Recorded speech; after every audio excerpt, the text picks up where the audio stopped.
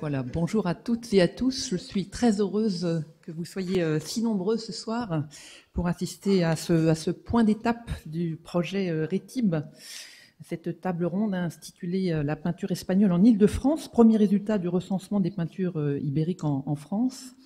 Alors voilà, c'est un, un, projet vraiment ambitieux. Et ce soir, nous aurons la chance d'avoir six communications par six spécialistes de la peinture ibérique qui viendront présenter des découvertes récentes euh, alors, ce projet, euh, je, le rappelle, mais vous le, savez euh, tous, est, mené par Charlotte Chastel-Rousseau, que je vous présenterai, ainsi que Véronique Gérard-Powell, qui prendra la parole par la suite. Donc, Charlotte Chastel-Rousseau est, ici responsable de ce, de ce, programme.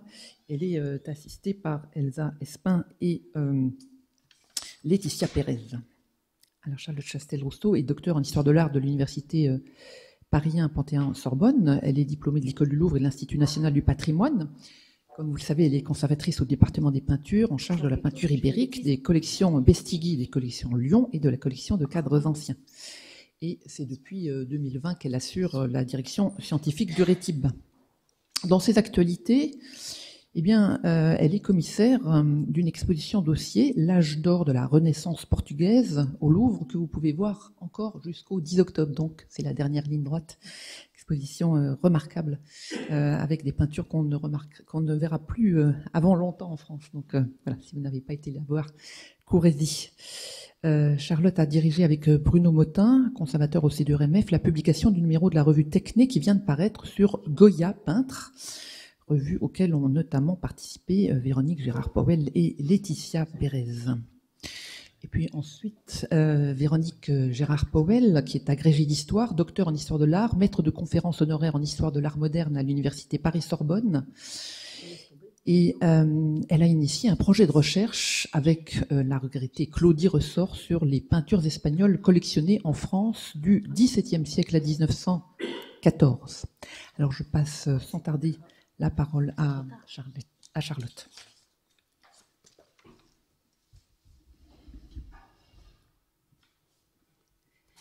Merci beaucoup Isabelle, bonsoir à toutes et à tous. Merci d'être là ce soir et merci à ceux qui vont, qui vont nous écouter aussi.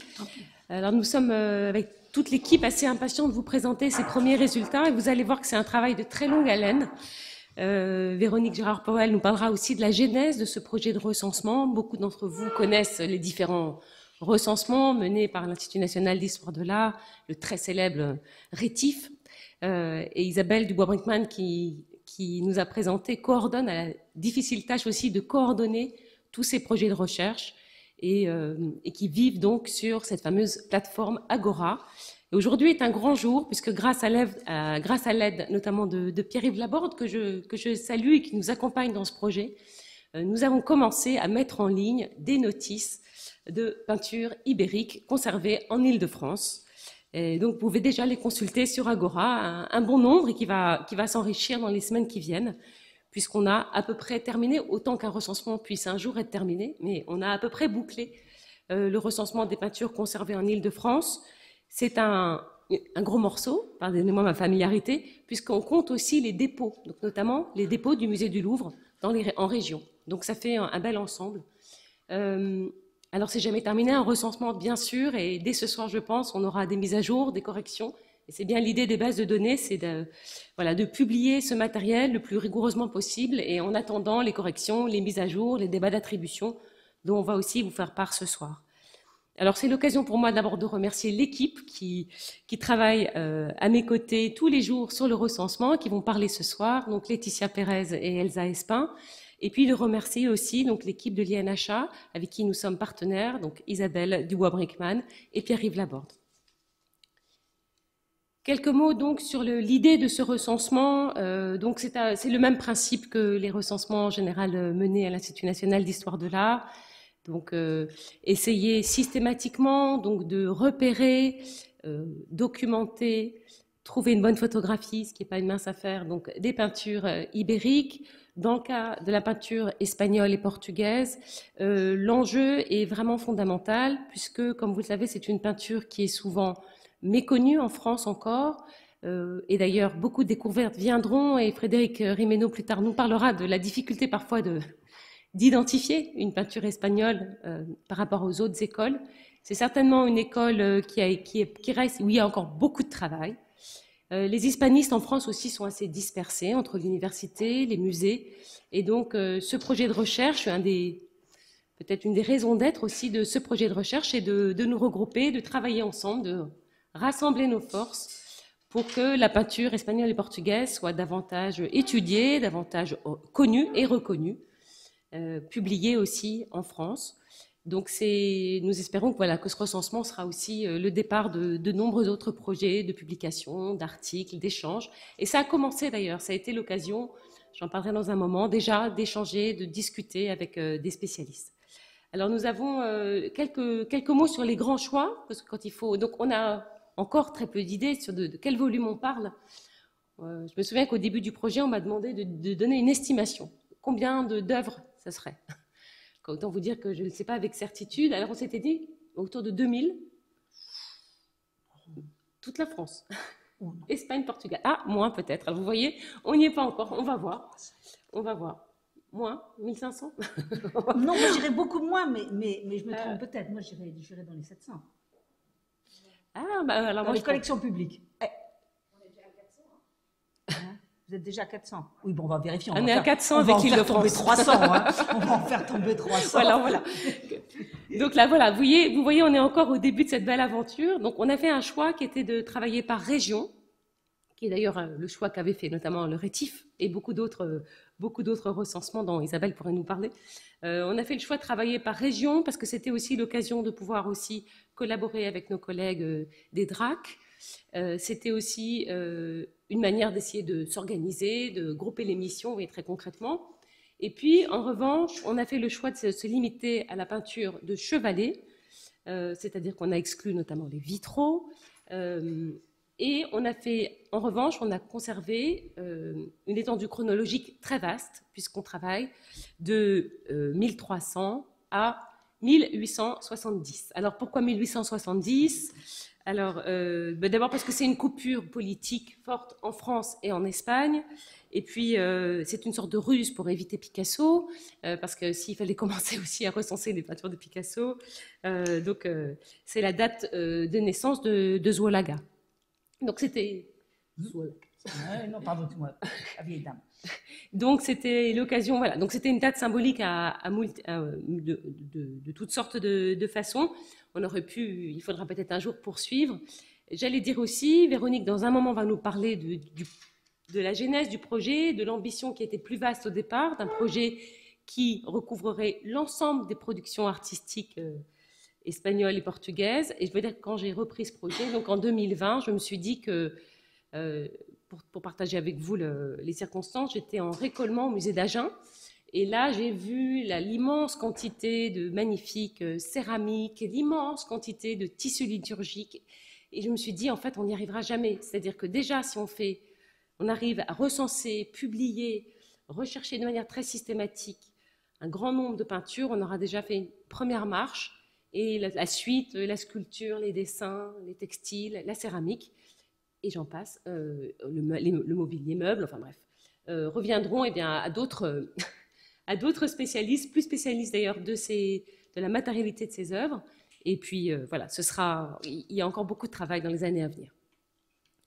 Un petit mot peut-être pour que je, je, dirais enfin, donc aujourd'hui nous allons parler principalement donc de la peinture euh, ibérique en Île-de-France, avec donc cette, ce petit, euh, cette subtilité qui est que cela recouvre aussi donc les peintures conservées dans les musées d'Île-de-France qui ont été déposées en région.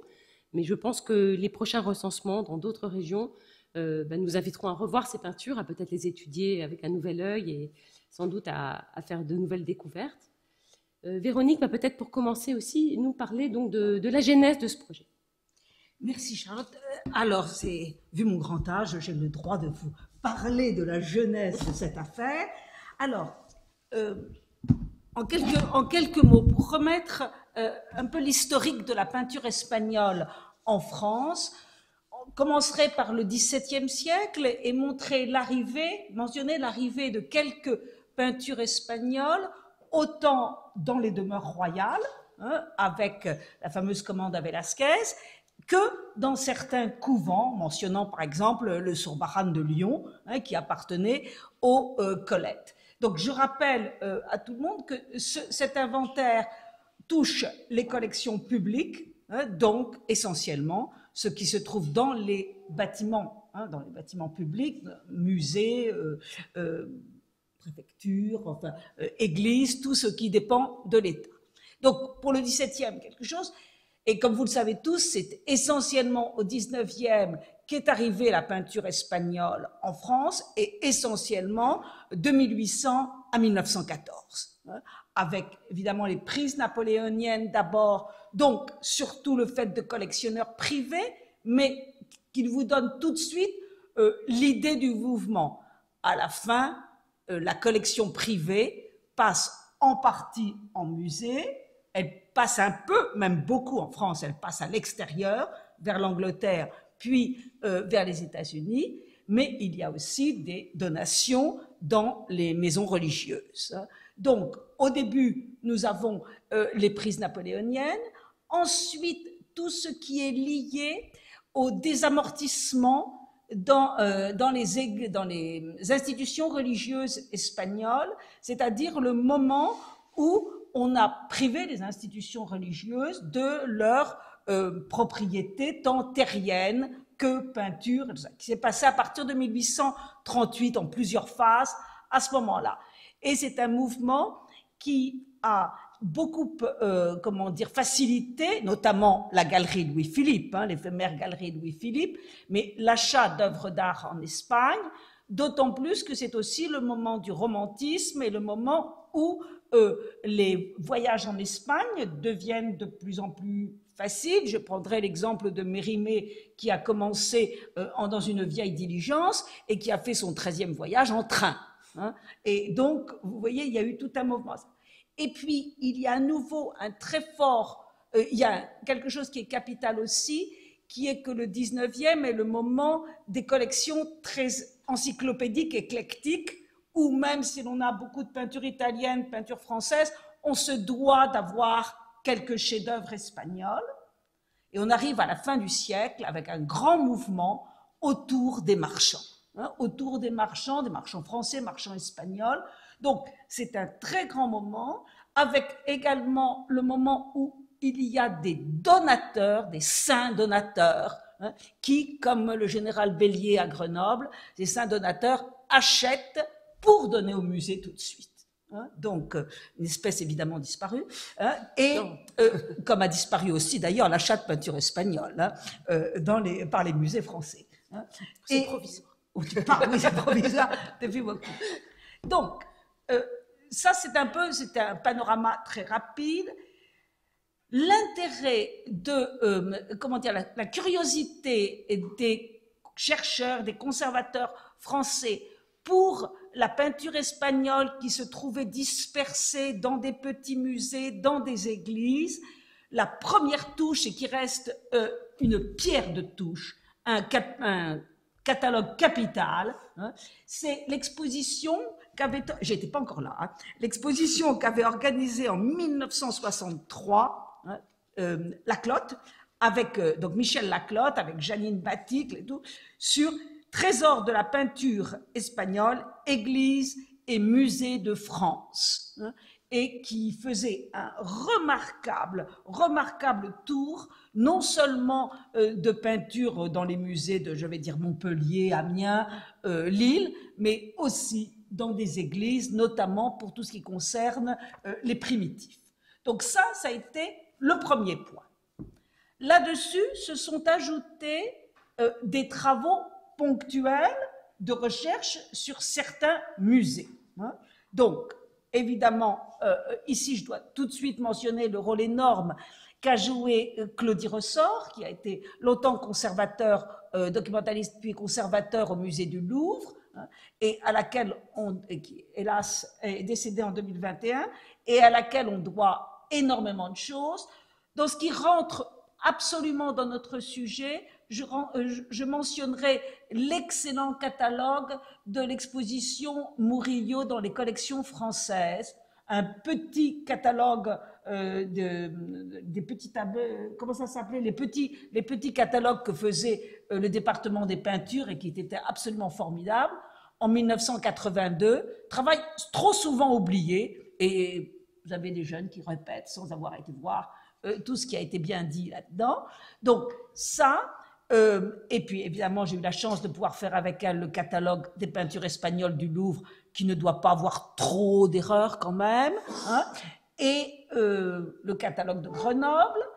Donc il y a eu des catalogues comme ça, et surtout il faut mentionner Castres et le rôle énorme joué par Janine Baticle d'abord, qui a été la première conservatrice du musée, dans lequel avait été déposé à la fin du 19e par Briguiboul, euh, avait été notamment la, Jeanne de Goya, et le rôle énorme qu'a mené pendant 40 ans euh, Auger, hein, Jean-Louis Auger à la direction de ce musée, et qui a fait rentrer énormément d'œuvres dans les, euh, dans les musées français, et en même temps récupérer des œuvres qui étaient en dépôt un peu partout pour en faire un gros centre. Donc, si vous voulez, il y, a, il y avait du travail, je dirais, partout dans la France sur les collections, mais dans beaucoup de musées. Alors si Lyon, par exemple, avait fait un petit, euh, un petit catalogue, il fallait commencer à penser plus large, plus à fond, voir dans les musées. Et c'est vers 2011, si ma mémoire est bonne, vers 2011, que, à l'imitation du rétif, donc, euh, on avait pensé euh, à commencer à faire le recensement de la peinture espagnole, tout à fait poussé par Jean-Pierre Cusin et par la Claude. Euh, Guillaume Kins en a pris la direction et euh, on a commencé, enfin, on a commencé à travailler. Oui, il y a eu du travail qui a été fait, que nous allons reprendre, mais on m'a demandé d'en faire l'historique, donc j'y vais. Hein, j'y vais. Donc, euh, cette histoire, il y a déjà des régions qui ont été étudiées par Monsieur Kins, qui est allé avec, euh, euh, alors je sais plus son nom, euh, dans la région de Gironde, que Claudie et moi nous avions déjà fait par avance, mais on avait dû la faire mal. Et voilà. Et puis ensuite, Claudie ressort.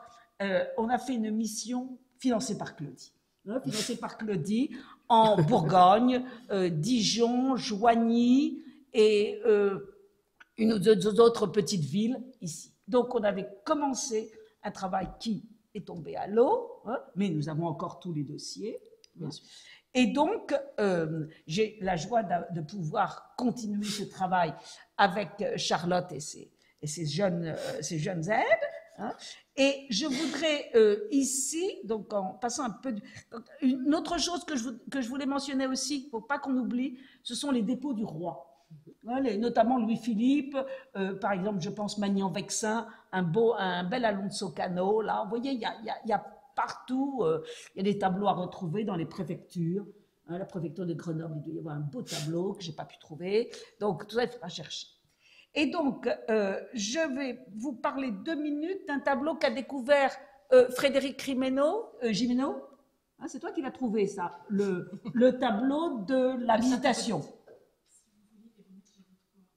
Vous avez mon PowerPoint non, bon, là, on a, là, on a celui-là, parce que j'ai des problèmes d'adaptation euh, d'un PowerPoint à un autre. Donc, euh, euh, c'est Frédéric, Frédéric qui... Hein? C'est toi, Frédéric? Moi, je suis dans le patrimoine de la ville. Quelqu'un m'a dit qu'il y avait un tableau espagnol après l'église, et là, j'ai tant, je n'arrive pas à me souvenir qui me l'a dit. Bon, mais c'est... J'ai cru que c'était dans la tribune de l'art, que tout est publié dans la tribune de l'art, et sauf la peinture espagnole. Et je remercie vraiment la personne qui l'a identifié, qui me l'a dit précipitamment, et je ne sais plus qui c'est. Alors, merci euh, Frédéric, en tout cas c'est grâce à toi que le relais a été pris. C'est une œuvre euh, qui n'est pas, qui n'est pas, c'est pas un Velasquez, hein, c'est pas le chef-d'œuvre absolu, mais mettez, je vais vous mettre, je vais vous mettre ma photo. Voilà.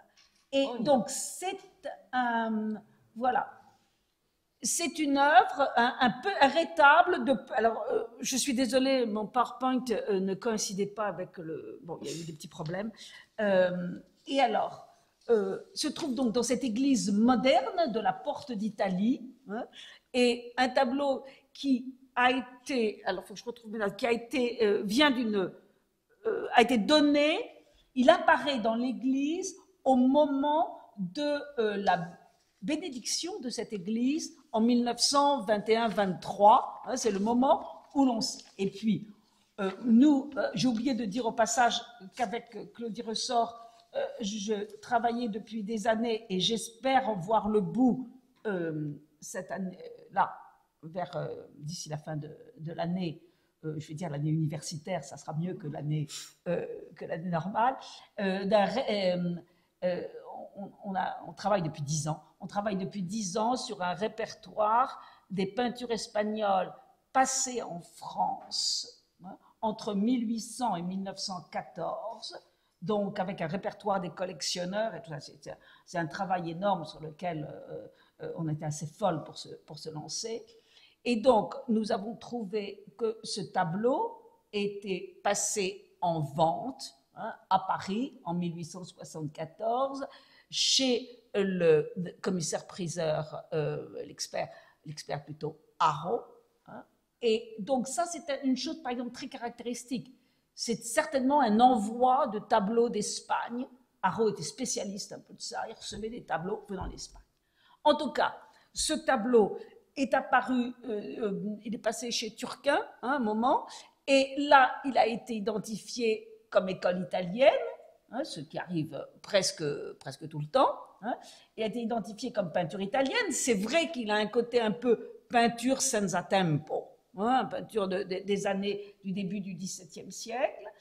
Et en fait, c'est un tableau qui appartient absolument au, euh, comment dire, au foyer de l'Escorial.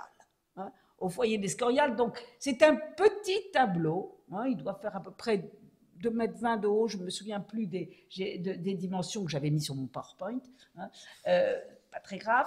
Et donc, euh, c'est intéressant de rendre à l'Espagne hein, quelque chose qui est arrivé entier. C'est un panneau sur bois avec les éléments d'architecture sont fins, mais cette structure en arc de triomphe, en portada, comme on dit en Espagne, correspond tout à fait, c'est issu du, grand modèle de Zucaro à l'Escorial, et c'est passé par des gravures de Pedro Pérez, ben, on en trouve partout, et donc, euh, au début du XVIIe, dans Madrid, Alonso Carbonel, par exemple, on a un dessin avec ce type de retable en trois parties, avec euh, des figures isolées de saints et une grande scène centrale. Alors, euh, j'hésite pour le moment, et David aura peut-être une idée. au début, j'ai beaucoup pensé à... il y a deux deux peintres essentiels. Il y a Eugenio Carres et euh, Vicente Carduccio. Il y a des endroits qui sont un peu lourds dans le tableau, hein, qui font penser qu'on se mettrait plutôt dans le genre école 2, foyer 2, si vous voulez, mais en tout cas, le tableau qui a été restauré est en très bon état. Une chose qui est très, très intéressante dans ce tableau, dans cet ensemble, c'est le paysage qui est un paysage qui marque aussi très fortement l'influence des peintres de l'Escorial, il va finir par arriver. Hein. Et donc, euh, euh, voilà, ici à l'arrière, vous voyez ce paysage que l'on trouve beaucoup dans la peinture euh, de la fin du XVIe siècle, hein, peinture avec des influences flamandes très fortes. Donc, voici ici un exemple très récent hein, euh, d'un retable. Alors, il paraît qu'il vient d'une église d'Avila.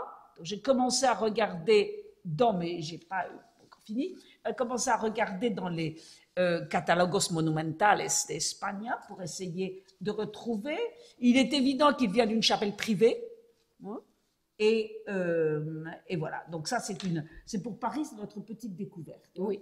Hein la provenance à Villa, en fait, elle, euh, elle vient d'une ancienne étiquette aujourd'hui perdue, mais qui avait été au revers du panneau et qui avait été transcrite dans une euh, publication euh, très, très, très, locale, plutôt une petite une gazette, on va dire.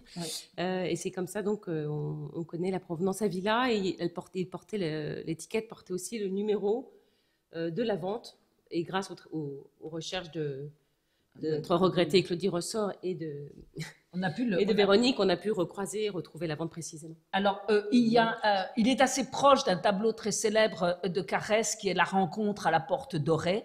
Hein, ce qui fait que c'est moi, j'ai vraiment envie de penser qu'il est très proche.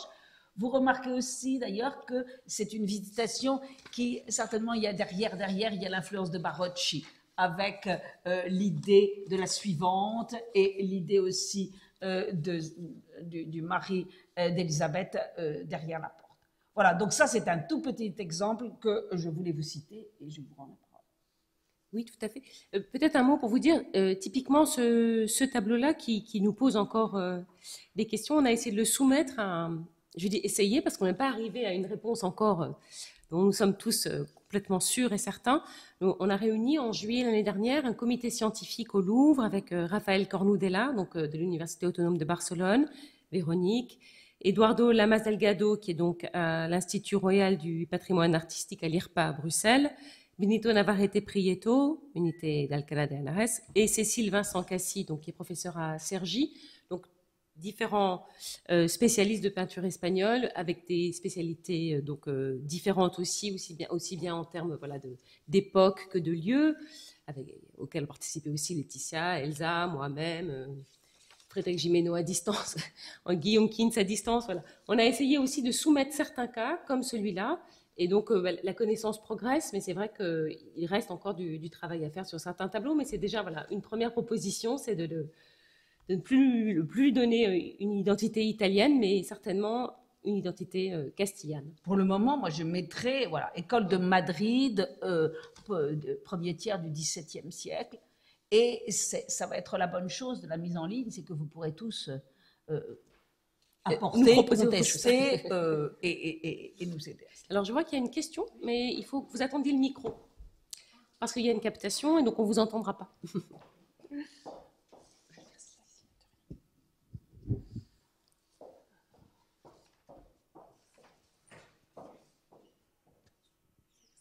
allumé? Oui. Bonjour, Caroline Blondeau-Morizot. Euh, je travaille pour le diocèse de Paris. Je représente donc le propriétaire de ce tableau. Alors, je vous remercie parce que ces dix dernières minutes m'en ont appris beaucoup plus que toutes les années, euh, que j'ai, enfin, en tout cas, tous les renseignements que j'ai pu trouver dans les dossiers quand j'ai repris ce poste.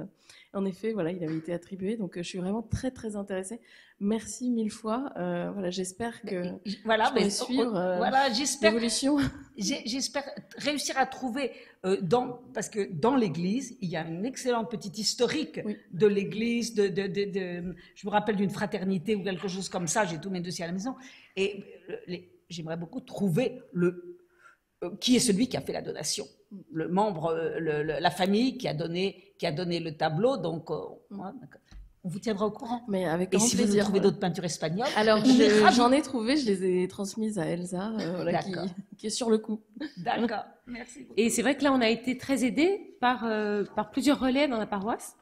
Euh, on a été reçus et elles avaient elles-mêmes fait des... Plus, les, voilà, les, il y avait plusieurs bénévoles de la paroisse qui avaient fait des recherches pour nous compléter les dossiers. Donc voilà, on, peut aussi saluer leur aide et les, remercier. Alors, on va progresser dans, cette table ronde. Donc, c'est Laetitia, Elsa Espin qui va venir prendre la parole d'abord.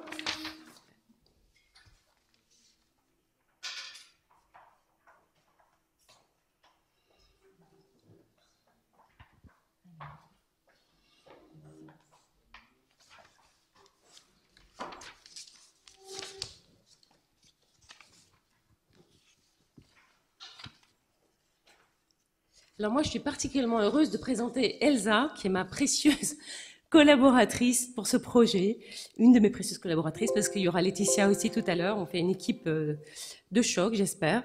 Euh, donc, euh, Elsa est docteur en histoire de l'art médiéval. Elle a soutenu sa thèse récemment et brillamment.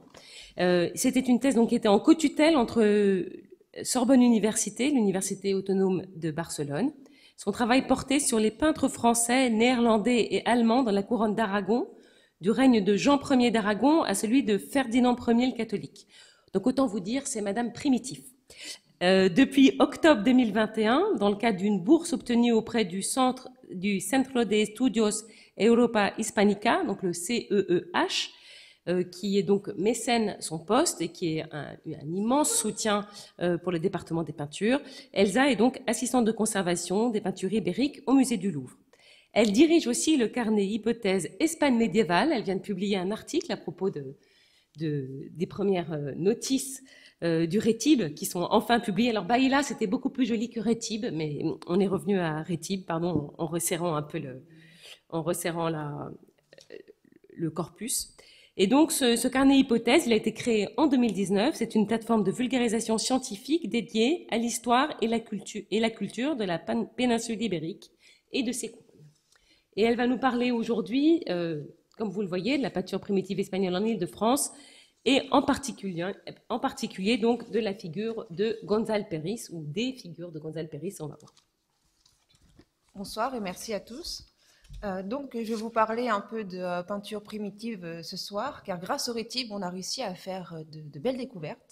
La peinture primitive espagnole est un peu, en général, le parent pauvre de la peinture espagnole. On a tendance à commencer avec Gréco et à continuer par la suite. Et pourtant, en, France, eh ben, on a de, de très belles peintures et on a fait de très jolies découvertes. On a déjà redécouvert les collections que tout le monde connaissait. Ça, c'est la salle des retables du musée des arts décoratifs qui est pas très loin. Alors évidemment, le musée du Louvre a la primauté de par ses collections. Là, vous voyez une euh, des petites salles, des petits cabinets où on voit désormais exposé enfin euh, le biface de Johann Rechac qui a été acquéri euh, dernièrement. Qui a été acquis, pardon. des fois, entre le français et l'espagnol, c'est un peu compliqué, il hein, faut l'avouer. Le musée des arts décoratifs s'est aussi révélé une très belle surprise avec énormément de peintures primitives dont je vous ai mis quelques beaux exemples. Le plus important est certainement le retable de Saint-Jean-Baptiste de Louis Borassa, un très important artiste catalan euh, du début euh, du XVe siècle qui s'inscrit dans le gothique international, mais on trouve aussi du style italo-gothique avec Jaume Serra, un autre atelier très important barcelonais, ou encore euh, l'aragonais Pedro Garcia Benabar. On n'y aurait pas pensé, mais aussi en sortant euh, de Paris, le musée Jacques Marandré et plus précisément la collection Nelly Jacques Marandré euh, nous a réservé euh, de belles surprises avec dans l'exceptionnelle salle des moines deux petits panneaux que vous pouvez voir sur le haut. Je ne sais pas si non, ma souris ne s'affiche pas, mais vous voyez qu'il y a deux tableaux qui se distinguent, qui se répondent. Ce sont deux tableaux aragonais de la première moitié du XVe siècle que l'on peut attribuer désormais au pseudo-Blasco des Granen. On l'appelle pseudo car ce n'est pas Blasco des Granen, mais très certainement quelqu'un qui était actif dans son atelier et travaillait suivant la même manière. Ou, découverte encore plus intéressante, le Saint-Roch présenté juste à côté qui, grâce euh, à l'expertise de José Gómez Frechina, a pu être rattaché au Valencien Fernando Llanos, qui est considéré comme l'un des premiers peintres Renaissance pour l'Espagne et notamment le royaume de Valence. On a aussi trouvé des œuvres inédites. On pensait peut-être tout connaître, finalement, on a de très belles surprises. Parmi peut-être les plus importantes, ce panneau, quasiment inédit, qui a juste été publié euh, dans un inventaire des collections Rothschild en France, et qui, là encore, grâce à l'expertise de José Gómez Frechina, a pu être rattaché à un autre artiste valencien d'importance, Joan Rechac. Ou encore, euh, toujours à Paris, dans euh, la paroisse de Saint-Joseph des Nations, on a découvert cette petite dormition de la Vierge que l'on peut rattacher à Joan de Rua, un artiste euh, catalan qui a été formé euh, aux côtés de Joan Rechac à Valence. Mais donc je viens au principal euh, de ma communication, Gonzalo Péris ou Gonzalo Péris Saria. Ce n'est pas ce soir que je tenterai de répondre à la question parce que ça pourrait euh, s'éterniser et que le temps est compté. Toutefois, on a pu revenir sur cette acquisition qui a été faite par le musée du Louvre grâce aux amis du musée en 2014 et qui avait euh, tout de suite suscité l'intérêt de Claudie Ressort, et c'est donc là encore une continuation de ce qu'elle avait initié. Ce petit panneau est extrêmement intéressant car de prime abord, quand on le regarde, une piéta, on pense que c'est quelque chose de tout à fait commun qu'on a l'habitude de voir, notamment dans les retables, puisqu'on est au XVe siècle, c'est daté d'environ 1430, et on a un art exclusivement religieux. C'est un petit format, une piéta. Très tôt, on a voulu le rapprocher d'un élément de retable le plus plausible, et tant que cela puisse être un élément de prédelle, comme c'est le cas avec cet autre prédelle que je vous présente ici et qui est également conservé au musée du Louvre et qui sort également de l'atelier de Gonzalo Péris. Gonzalo Péris Saria, point d'interrogation. Sauf que, si on regarde bien cette petite pieta, pardon, cette petite prédelle, au centre, ce n'est pas une pieta. C'est un homme de douleur, un imago pietatis. Et il y a une différence importante à faire entre l'iconographie de l'homme de douleur qui est extrêmement répandue à Valence au début du XVe siècle et la pieta, puisque l'un se centre sous la douleur du Christ mort et l'autre sur la douleur de la mère qui tient le corps de son fils mort ou qui ne le tient pas parce qu'elle peut être aussi représentée de manière resserrée, simplement elle en pleurant. Donc il faut écarter la possibilité que ce soit un élément de retable aussi parce que, je ne l'avais pas précisé, si vous le voyez bien sur cette prédelle, il y a comme une espèce d'architecture qui entoure chaque image. Le tableau qui nous intéresse ici est parfaitement rectangulaire. Par ailleurs, les tranches ne présentent aucune altération qui indiquerait que c'est un panneau qui a pu être coupé. Donc on écarte l'élément euh, d'un retable et notamment d'une prédelle. Autre possibilité, ce serait qu'il fasse partie, au même titre que ce petit triptyque, d'un ensemble votif de moindre importance et qu'il aurait pu avoir des volets. Là encore, les tranches ne présentent aucun élément allant dans ce sens. On se retrouve donc face à une œuvre inédite dans le contexte valencien. On n'en connaît pas d'autres où on aurait un panneau seul présentant une image de Vierge de piété pour cette époque-là. Là, je vous montre le panneau. Vous voyez que seul sur la tranche basse, on voit quelques petits accidents dus au temps, mais il n'y a véritablement aucun élément pouvant indiquer une section ou qu'il y ait eu des accroches. La seule petite chose qu'on voit, c'est sur la partie supérieure, deux petits trous, qui étaient certainement destinés à avoir une accroche pour tenir le panneau droit sur un hôtel. Le revers, lui, est peint d'une couleur ocre, tout à fait caractéristique de la production ibérique et qui vise en fait à euh, permettre que le panneau dans le temps ne bouge pas trop. Pour comprendre comment cette image apparaît à Valence au début du XVe siècle, il faut regarder vers le nord de l'Europe. On considère que c'est vers la fin du XIIIe siècle, dans la vallée du Rhin, qu'apparaît l'image de la Pietà telle qu'on la voit représentée dans le panneau valencien conservé au musée du Louvre. Et ce sont donc les Vesperbild, j'espère ne pas trop mal le, prononcer, mon allemand est plus mauvais que mon espagnol. Et euh, c'est très intéressant parce que cette iconographie, qu'on ne retrouve pas du tout dans la Bible, va avoir un essor extrêmement important dans la vallée du Rhin pendant toute la première moitié du XIVe siècle et peu à peu se diffuser en Italie, dans le reste de l'Europe, pour arriver jusqu'en Espagne. Et justement, dans le royaume de Valence, aux alentours de 1400, déjà on trouve au moins un autre exemple de sculpture de Pietà très probablement germanique. Les experts ne sont pas tous euh, d'accord sur la question, mais disons que c'est une œuvre qui est en tout cas septentrionale, qui ne vient pas d'Espagne. Mais ce qui est aussi intéressant, c'est qu'à Valence, on a une communauté germanique extrêmement forte à cette époque, avec l'arrivée d'artistes comme notamment Marcel de Sasse. Or, l'artiste qui peint la Pietà, Gonzal Péris, Gonzal Péris Saria, peu importe, a connu Marcel de Sasse. On peut donc imaginer que c'est par ce biais, cette présence tant d'œuvres germaniques que d'artistes germaniques, que cette iconographie nouvelle est connue tant de l'artiste que par les commanditaires. Et donc nous sommes face au musée du Louvre à une œuvre qui est véritablement une première dans le contexte valencien au début du XVe siècle. Et pour ce qui est de répondre à la question de, l'attribution, écoutez, ce sera pour euh, une prochaine fois où j'aurai plus de temps, euh, si ça vous intéresse. Non, moi je pense que vous, Elsa, je suis désolée, il faut que vous essayiez juste en deux minutes de juste de résumer la question de Gonzalo Pérez, Gonzalo Pérez Saria, parce que vous le faites très bien, vous me l'avez déjà fait pour moi. Donc essayez de manière, voilà, sans rentrer dans le détail, mais je pense que c'est intéressant parce que c'est, ça reste un débat dans l'historiographie assez. Euh, on en parle souvent aussi avec Sophie Caron, qui est donc conservatrice au département des peintures en charge aussi des primitifs euh, de toute école, de, toutes sortes d'écoles, dont les Espagnols. Et c'est vrai qu'on a souvent ces discussions sur euh, Gonzalo Pérez, Gonzalo Pérez Saria. On le retrouve dans la bibliographie. Donc, euh, comme je sais que c'est une question que vous avez beaucoup travaillé, dites-nous juste un mot rapide.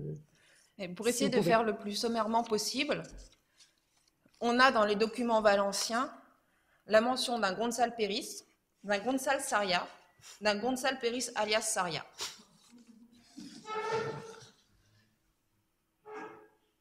Au début du XXe siècle, les historiens ont divisé les deux. Pour, dans les années 1930, se dire que non, finalement, ce n'est qu'un seul et même artiste. Après tout, le fait qu'un alias soit utilisé n'a rien de surprenant. Gonzalo Péris avait un père qui s'appelait Péris et un grand-père qui s'appelait Saria. Selon ce qui l'arrange, il utilise un nom ou un autre, ou il peut mettre un alias au milieu et utiliser les deux. On le voit en Catalogne avec un autre artiste qui s'appelle Raphaël Destorens, qu'on trouve également comme Raphaël Destorens alias Grégory, et quand il travaille avec les religieux, en général, il préfère s'appeler Grégory. Pourquoi est-ce qu'il ne se passerait pas la même chose à Valence? Mais dans les années 90, Johan Aliaga a fait une thèse pour démonter tout ça. Il n'a pas rencontré un succès fou, puisque jusqu'à aujourd'hui encore, tout le monde n'est pas convaincu. Il y a ceux de son école qui le suivent, et il y a les autres qui disent que non, que par ailleurs, stylistiquement parlant, c'est une seule et même main. En 2016, retournement de situation, Joan Molina découvre un document qui nous dit que Margarita est veuve de Gonzalo Péris, peintre, en 1433. Et jusqu'en 1451, on a un Gonzalo Péris, de temps en temps, Gonzalo Péris alias Saria. Qui est donc Gonzalo Péris Qui est Gonzalo Péris Saria? Stylistiquement parlant, effectivement, il y a une très grande unité. Par ailleurs, quand on regarde la documentation, c'est extrêmement troublant parce que Gonzalo Péris, qui décède en 1433, est marié à une Margarita. Gonzalo Péris Saria est également marié à une Margarita, qui fait un testament en 1437. Il y a beaucoup de Margaritas, c'est tout à fait possible que les deux homonymes aient également des femmes qui soient homonymes. Mais chose encore plus troublante, c'est que Gonzalo Péris et Gonzalo Péris Saria ont tous les deux un frère qui s'appelle Guillaume. Guillaume s'appelle Gonzalo, euh, pardon, s'appelle Guillaume Péris et parfois il s'appelle Guillaume Péris alias Saria. Moralité, il n'y a aucune raison de remettre en question euh, le document qui a été découvert par Johan Aliaga de 1433, qui nous dit effectivement qu'un Gonzalo Péris est décédé, cela dit, à la lumière des documents, lui-même dit qu'il ne faut pas exclure qu'avant 1433, lorsque l'on voit un Gonzalo Péris, il est tout à fait possible que ce Gonzalo Péris soit en réalité Gonzalo Péris alias Saria. Moi, ce que je suggère, ce serait plutôt que du coup, puisque stylistiquement parlant, tout est cohérent, et que finalement Gonzalo Péris alias Saria est celui qui prédomine, celui qui continue par la suite, Finalement, peut-être qu'il faut, oublier ce Gonzalo Péris qui décède en 1433 pour ne privilégier plus que Gonzalo Péris alias Saria. C'est mon opinion. Merci, vous, l'avez très bien résumé. Merci beaucoup, parce que c'est, mais c'est intéressant parce que c'est une question historiographique euh, qui, est, souvent, débattue. Est-ce qu'il y a des questions à propos de ce que vient de, de présenter? Bon, j'ai posé la question la plus difficile, donc qui était euh, les alias. Non, alors on va passer à la suite. Merci beaucoup, Elsa.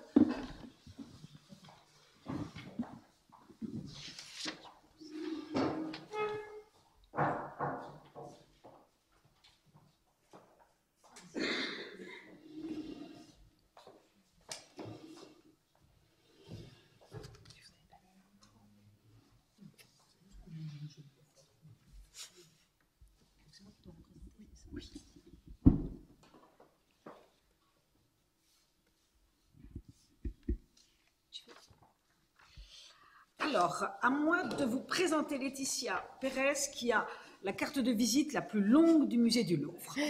Documentaliste scientifique au département des peintures du musée du Louvre, responsable de la documentation des peintures espagnoles, portugaises et latino-américaines du XIVe au XIXe siècle, des peintures flamandes, hollandaises et belges du XVIIe au XIXe siècle.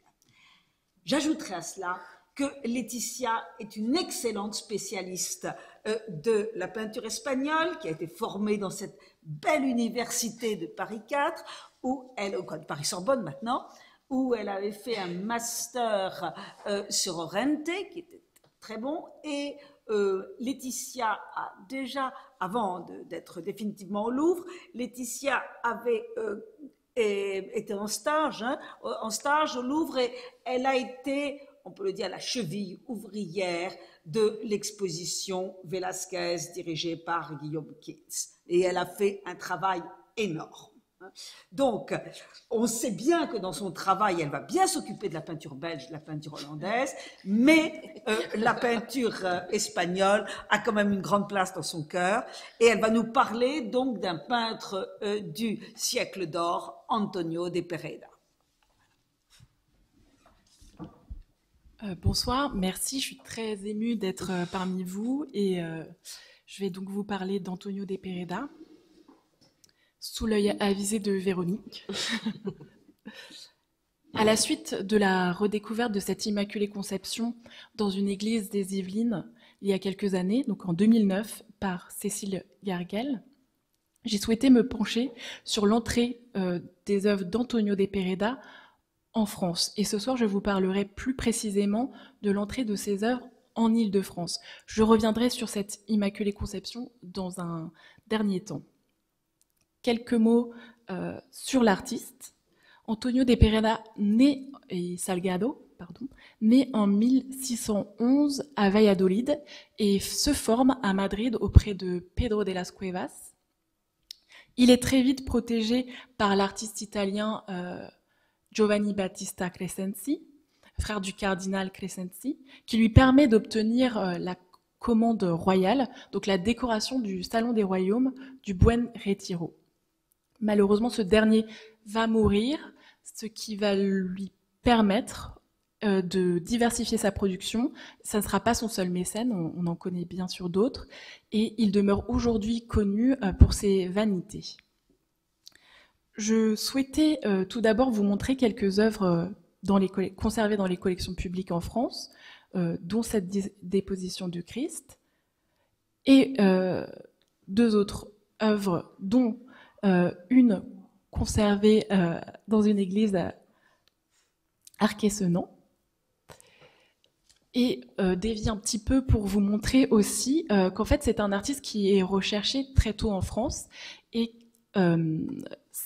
euh, ce songe du chevalier, qui est aujourd'hui euh, un de ses chefs-d'œuvre, a été envoyé euh, à Paris pour le musée Napoléon, renvoyé en 1816 et il demeure aujourd'hui encore à l'Accademia de Bellas Artes de San Fernando. Une œuvre aussi qui a une, un parcours assez, atypique, enfin assez impressionnant, pardon. Cette, c'est la délivrance de Gênes, qui est donc euh, cette, euh, cette œuvre qui est donc passée, euh, qui a été pillée pardon, par le maréchal Sébastiani. Et pour l'anecdote, Vivant Denon souhaitait l'acheter pour le Muséum central des arts, ce qui n'a pas été possible. L'œuvre est donc partie en Angleterre avant de revenir en France dans la galerie Charles Brunner et d'être vendue, achetée par Marcel de Némès, qui en a fait don au musée du Prado. Comme je l'ai dit, ces œuvres sont donc arrivées en France très tôt, euh, beaucoup d'entre elles durant la première moitié du XIXe siècle, dont ce mariage de la Vierge, conservé euh, dans l'église Saint-Sulpice, dans la sacristie des mariages, sacristie qui est fermée au public, ce qui explique que l'œuvre soit aussi euh, méconnue encore aujourd'hui. Euh, j'ai eu la chance d'y entrer. Donc, euh, je suis obligée de me marier dans l'église. Et euh, voilà, mes photos ne sont pas d'extrêmement bonne qualité. J'en suis désolée. Donc l'œuvre a été peinte pour l'église du couvent des Capucins de Valladolid. Nous avons la chance d'avoir le contrat euh, daté de 1639 qui précise donc que cette œuvre doit être réalisée euh, sur une période de sept mois et qu'un bosseto doit être euh, réalisé et doit être validé afin de valider plus tard la composition. En ce qui concerne le bosseto, Pérez Sanchez, donc Pérez Sanchez sur lequel je me repose beaucoup ce soir, avait euh, pensé avoir euh, identifié ce bosseto euh, dans la collection Valentin Descardera. Il y a eu une très bonne exposition il y a quelques années à la Bibliothèque nationale. Malheureusement, je n'ai pas réussi à identifier aujourd'hui, à localiser cette œuvre. Donc, le mariage de la Vierge est présent dans cette église lorsque Antonio Pons réalise son viaje d'Espagne. San Bermudez l'admire également. Et enfin, Antonio Bossarte, aussi dans son Viaje Artistico, la mentionne et, détaille assez précisément euh, cette œuvre, le nombre de personnages, parle aussi, pardon, j'en ai pas parlé euh, avant, de cette euh, signature, Antonio de Pereda 1640, que je n'ai pas réussi à, à voir quand je suis allée voir cette œuvre. Et Enfin, euh, ce qui nous intéresse aujourd'hui, euh, c'est euh, dans quelles circonstances cette œuvre a quitté le territoire espagnol. ce qu'il faut savoir, c'est que en 1810, le 26 avril, Jean-Baptiste Eblé, le général qui va s'illustrer dans la bataille de Bérésina, est nommé, alors précisément, je vous le dis, il est nommé, excusez-moi, à la direction de l'artillerie de l'armée du Portugal sous les ordres du maréchal Massena et donc et, euh, doit partir sur le champ pour Valladolid en avril 1810. Euh, il y est euh, dès mai 1810 et comme vous pouvez le voir, il, il écrit au maréchal Massena et nous avons d'autres éléments de sa correspondance. ce que j'ai prévu de faire et j'ai pas eu le temps jusqu'à présent, c'est d'aller euh, vraiment consulter sa correspondance, parce que je pense qu'elle n'a pas euh, été, été, consultée. En tout cas, Paul Guinard avait, ce, avait prévu cela dans son article, j'en reparlerai plus tard, pour essayer euh, de connaître vraiment les circonstances de son, de son départ de Valladolid. Pour l'instant, c'est assez flou. on date ce départ de 1810, 1811 puisqu'en 1812, il n'est plus en Espagne. Mais euh, nous n'avons pas d'éléments euh, très précis à ce sujet. Euh, voilà, je voulais vous montrer l'œuvre. Donc l'œuvre a été, si je puis dire, redécouverte par Paul Guinard en 1931, qui lui a consacré un, article assez long et son premier article. Je ne savais pas. son premier article en 1931. Et euh, comme je vous l'ai dit, euh, de par cette dimension monumentale, elle n'a pas pu être exposée à, l'exposition euh, Trésor d'église dont parlait Véronique un peu plus tôt. ce qui, enfin voilà, ce qui est vraiment, ce qui est vraiment dommage, c'est que c'est une œuvre vraiment magnifique que peu d'entre nous ont pu admirer. Et enfin, pour l'Immaculée Conception, j'ai pu échanger euh, assez euh, longuement avec Cécile Garguel, qui a mené d'intenses recherches euh, dans les Yvelines. et malheureusement, elle, après ces recherches, elle n'a pas réussi à identifier de donateur, de quelque, chose quelqu'un qui pourrait être attaché à cette œuvre. Malheureusement, donc on imagine que l'œuvre est rentrée au XIXe siècle dans cette église de Garancière, dans les Yvelines. Et enfin, euh, je voulais euh, très vite aborder cette œuvre pour vous dire que je n'en parle pas ce soir puisque en fait euh, il s'agirait du seul portrait connu de Pereda si, l'attribution est bien reconnue. Et puisque on n'a pas aujourd'hui de portrait signé de l'artiste. Et donc j'ai préféré écarter cette œuvre de, ce, de cette communication sachant euh, le, peu que nous, que nous, sachons aujourd'hui. Je vous remercie beaucoup. Merci beaucoup. Bah, le, portrait que vous venez voir, le portrait d'homme qui est conservé au musée du Louvre, fait partie des œuvres dont on a débattu euh, pendant ce, en, juillet avec le comité scientifique sans trouver réellement d'accord autour de cette proposition d'attribution à laquelle Guillaume Kins croit beaucoup. Euh, il y avait donc, notamment Benito Navarrete, qui est un des grands spécialistes de cette période. Et c'est vrai que sans que ce soit une attribution qui soit complètement réfutée, euh, voilà, le manque de, points de comparaison fait qu'on est arrivé prudemment à.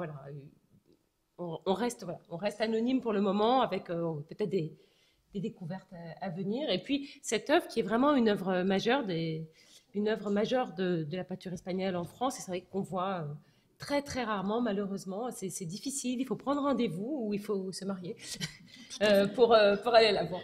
Mais euh, c'est une œuvre magnifique. Donc merci beaucoup, merci Laetitia d'avoir attiré notre attention sur ces œuvres importantes et celle de Garancière aussi, auquel on pense pas toujours, à laquelle on ne pense pas toujours, qui est une magnifique découverte récente. Est-ce que vous avez des, des questions pour Laetitia?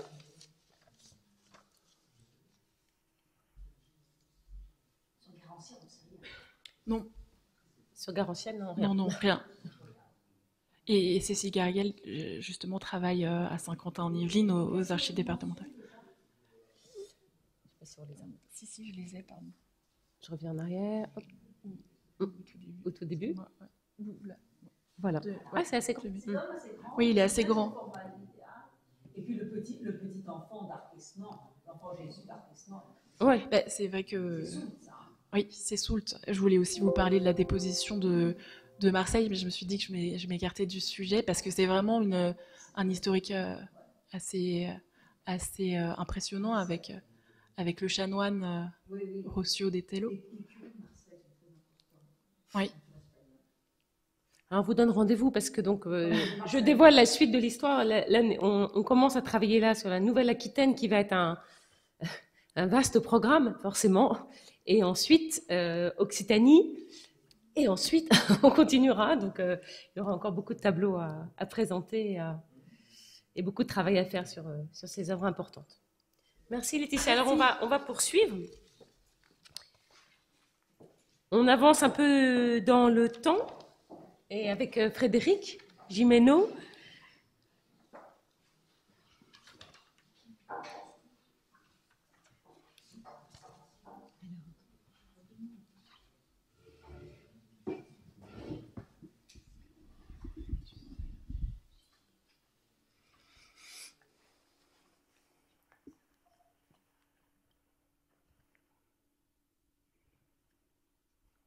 Alors, je, présente rapidement Frédéric Gimeno, qui est docteur en histoire de l'art, chargé de cours à l'université Paris 1 Panthéon-Sorbonne, euh, et qui travaille donc à la sous-direction du patrimoine et de l'histoire. Pardon, je regarde la suite. Euh, il est actuellement, c'est ça qui est le plus important, son actualité, il est actuellement commissaire. C'est pas, pas le plus important. Attention, il est commissaire scientifique d'une exposition qui arrive bientôt, l'exposition Jean Bardin, organisée par le musée des Beaux-Arts d'Orléans. Euh, Jean Bardin, un peintre dont une partie de l'œuvre est conservée en Espagne et l'exposition ouvrira le 3 décembre. Ça, ça l'a éloigné un petit peu de l'Espagne, mais vous voyez pas tant que ça. en fait, quand on, on, expulse les ordres religieux en France en 1901, notamment les Chartreux, et donc les Chartreux partent en Espagne et en Italie, mais ils partent avec leur mobilier complet. Et donc deux chartreuses entières ont été déménagées à Saragosse entre 1901 et 1910. C'est pourquoi les, plus, les œuvres les plus importantes de Bardin sont à Saragosse, avec d'autres tableaux français 17e que j'avais vus une fois en passant dans un couloir. Enfin, c'est un chapitre à étudier, et euh, il y avoir d'autres. Hein. Enfin voilà, mais on ne va pas s'éloigner sur le sujet. Bon, et ce soir donc, Frédéric ne nous parle pas de Bardin. Oui, parce qu'après, oui.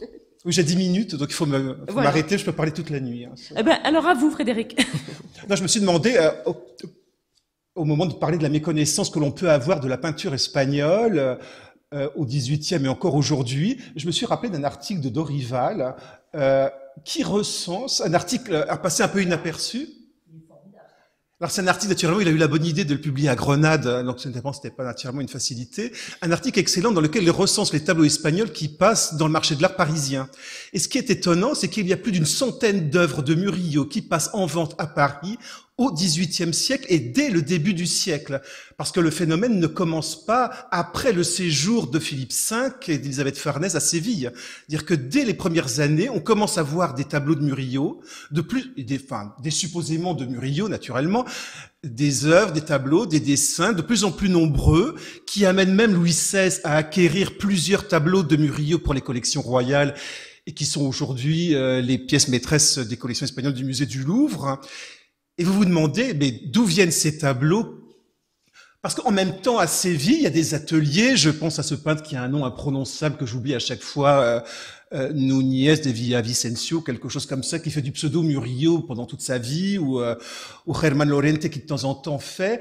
Et y a-t-il un lien entre l'un et l'autre? Y a-t-il un, un, un, début d'intérêt du marché de l'art pour la peinture espagnole à travers Murillo, qui est le seul peintre espagnol connu à Paris au XVIIIe Ribera est encore considéré comme un peintre italien d'origine espagnole. C'est le seul peintre, il y a beaucoup d'œuvres, il y a des ateliers qui font des faux. Est-ce que ces artistes sévillans qui font des, des tableaux à la manière de Murillo ont conscience que ces tableaux sont vendus comme des Murillo par la suite? Enfin, il y a quand même quelque chose d'intéressant. Euh, ce qui est intéressant, c'est qu'on voit quand même une Espagne intégrée dans le marché de l'art, intégrée dans des circuits. Et finalement, quand le marché de l'art s'intéresse à l'Espagne, euh, les flux euh, arrivent à soulever quand même beaucoup d'œuvres d'art, des œuvres intéressantes qui arrivent à rentrer dans de grandes collections, comme ce tableau qui est au musée du Louvre. Parce que finalement, euh, la civilisation est arrivée en Espagne et l'Espagne est un pays européen intégré euh, dans des circuits artistiques beaucoup plus importants. Euh, l'image suivante. Est, alors, vous avez ici le cas dont je ne sais plus comment il s'appelle, Rodrigo de Sajonia, c'est le nom récent qu'on lui donne, qui est un peintre qu'on appelle le maître de Sirena, qui est un peintre allemand, euh, ce qui a été à peu près clairement démontré maintenant, euh, qui a été formé dans le nord de l'Italie, a priori à Verpadoux sans doute, euh, et qui a travaillé dans le nord du royaume d'Aragon une dizaine d'années au début du XVIe siècle. On ne sait rien de lui, si ce n'est les dix œuvres conservées euh, du maître-autel du monastère royal de Sirena. Ce qui est intéressant dans le cas espagnol, c'est qu'on est quand même devant un pays, une entité, on va dire, une entité très étroitement intégrée dans des flux, des, des transferts artistiques très nombreux entre l'Espagne et l'Italie. Je rappelle quand même que plus de la moitié de l'Italie est espagnole.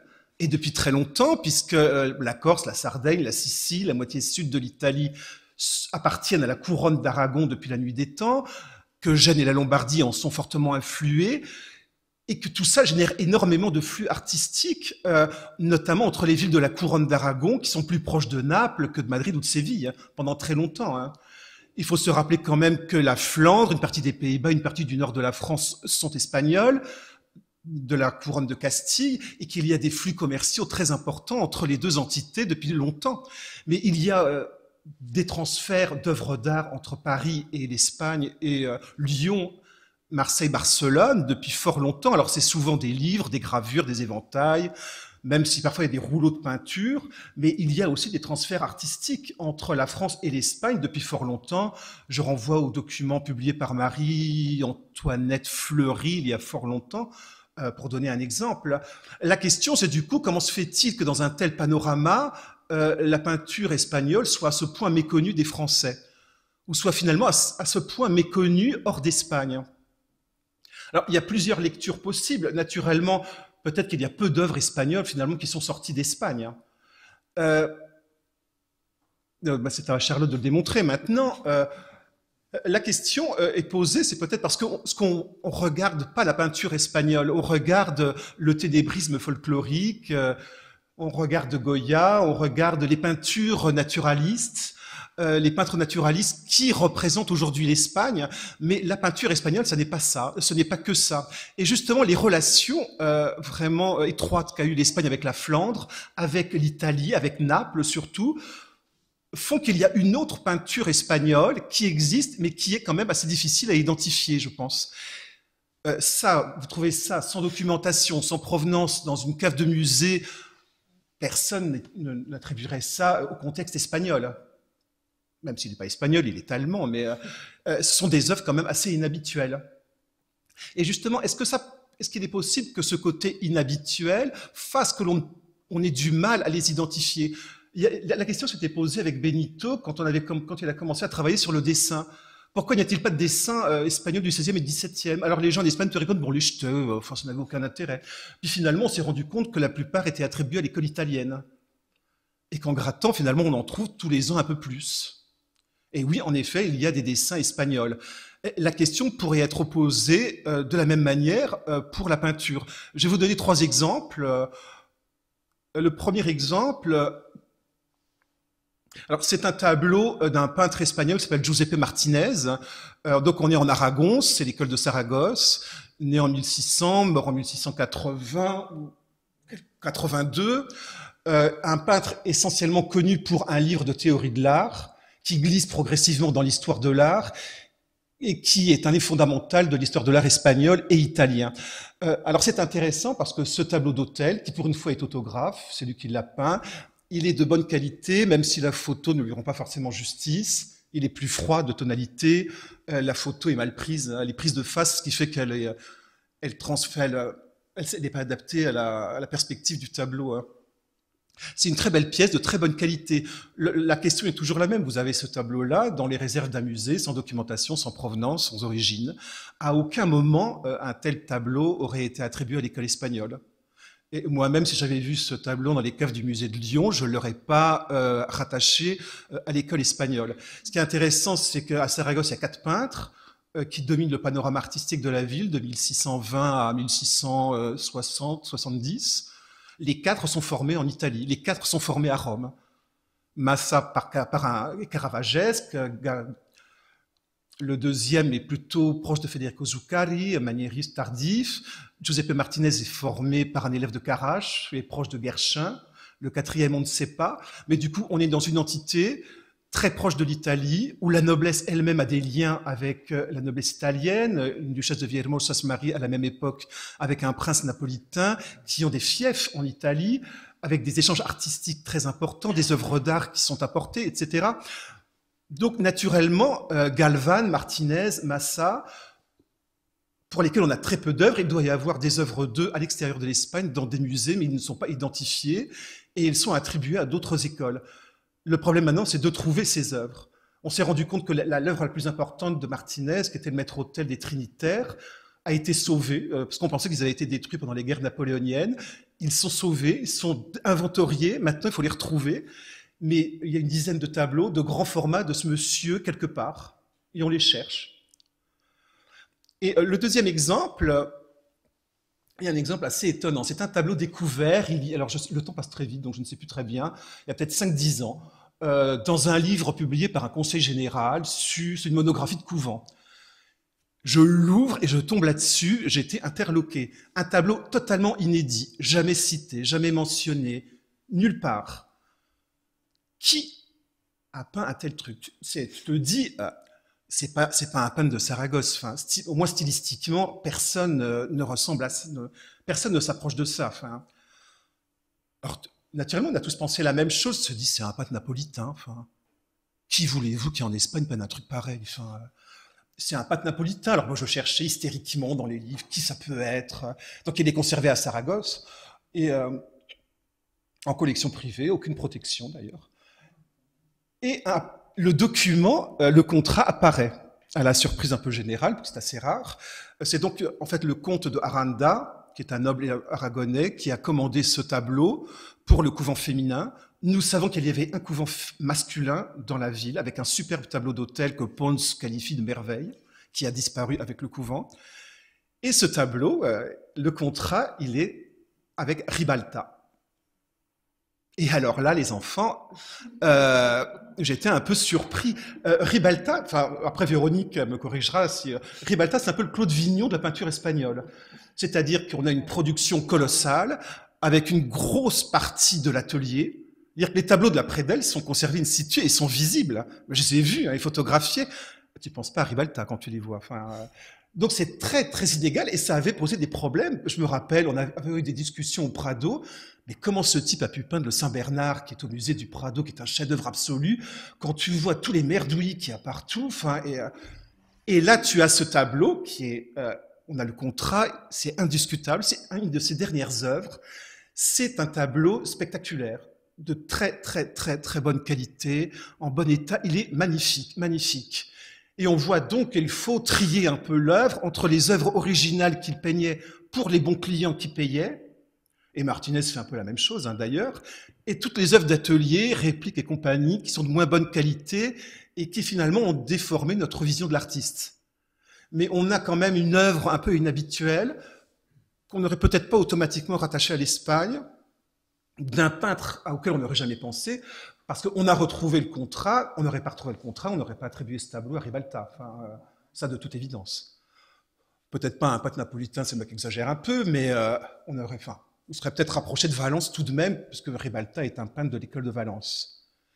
Et euh, la situation, en fait, va se compliquer au fur et à mesure du temps. Euh, L'image suivante, parce que au XVIIe siècle, l'Espagne, enfin, le, le conservateur du musée du Prado ici présent m'excusera, mais l'Espagne n'existe pas vraiment. Il n'y a pas d'école espagnole euh, jusqu'aux années 1660 à un moment où Madrid commence à avoir un poids politique, économique, artistique suffisant pour finalement créer un réseau autour d'elle.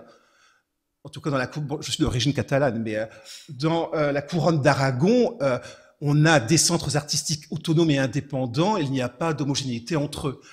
Euh, au 10, à partir des années 1660-1670, on a une Espagne artistique et une école à travers Madrid que devient son centre. Et on a un pays où il y a énormément de peintres étrangers, mais ça a toujours été le cas. Ça a été le cas au 15e, au 16e, au 17e, au 18e.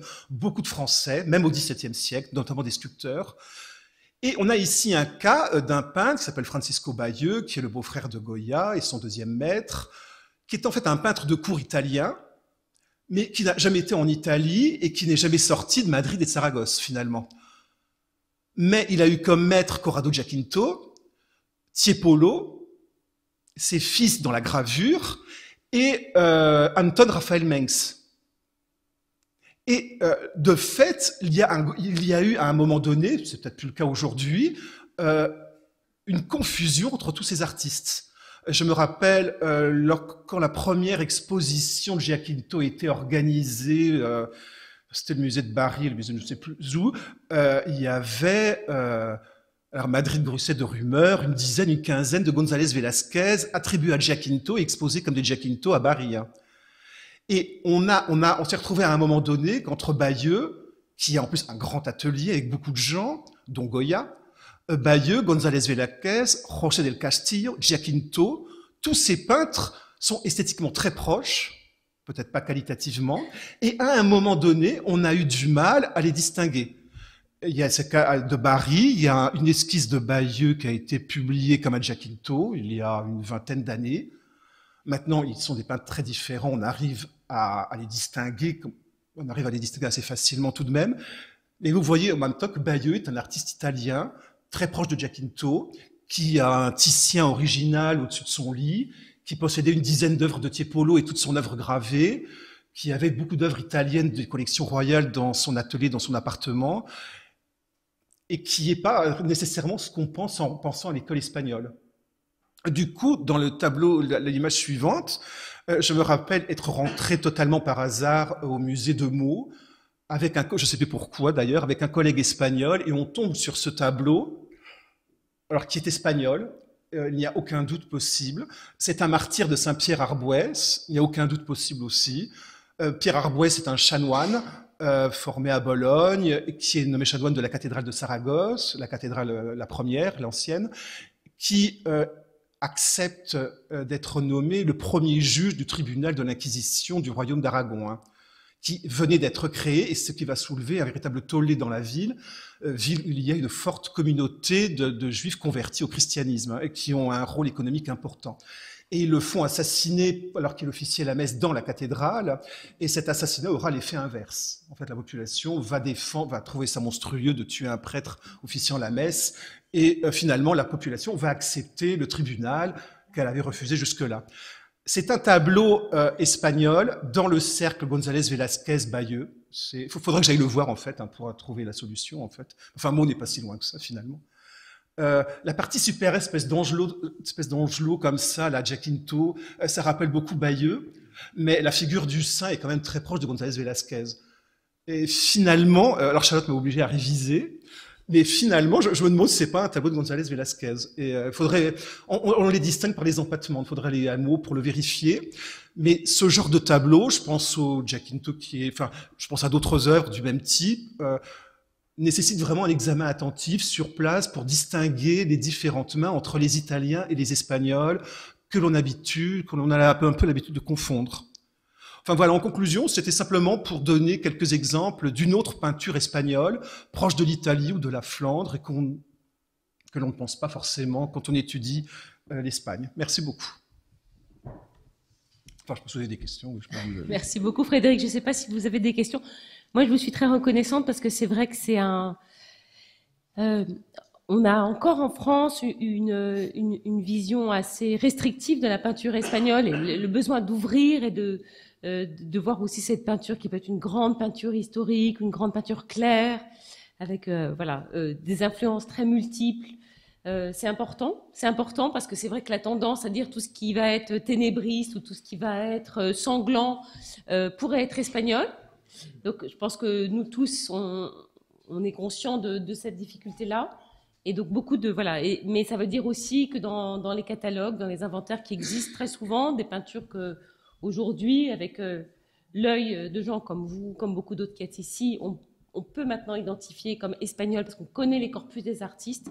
Elles sont euh, pas du tout repérées pour l'instant. Donc il y a ce travail-là assez systématique à mener et qui donne une, qui permet d'écrire une histoire de la peinture espagnole dans les collections publiques françaises beaucoup plus diverse, beaucoup plus ouverte et, du coup plus complète et intéressante. Merci beaucoup. Une question, bien sûr. Juste dire quelque chose à propos de euh, Saint-Pierre-Arboès, c'est qu'il y a plusieurs tableaux qui, sont, euh, qui représentent Saint-Pierre-Arboès, mais qui sont connus comme étant euh, le, le, martyr de Thomas Becket. Ah, oui, et en fait, et notamment un tableau qui a été, je te montrerai, qui est dans une collection, et qui a été attribué à Goya, qui est un tableau espagnol, et on n'allait on pas du tout là, parce que euh, tout le monde le, donnait comme Thomas Becket. Mais c'est Arboès. Mais c'est pas très connu. non, non, non. Et puis alors, ça, ça nous aide. Un sujet très espagnol comme ça, c'est bien. C'est un sujet de Saragosse. ça nous aide. C'est ça. Il ne faut pas que ce soit Becket. Une autre chose, quand tu parlais des Espagnols qui arrivent en France très tôt, les premiers tableaux donnés à Murillo qui arrivent en Angleterre arrivent en 1670. Ah oui. Ils arrivent par les, ils arrivent par les Flandres. Oui, oui, oui c'est ça, c'est la route, la route Séville, les Flandres. Ah oui, c'est très tôt.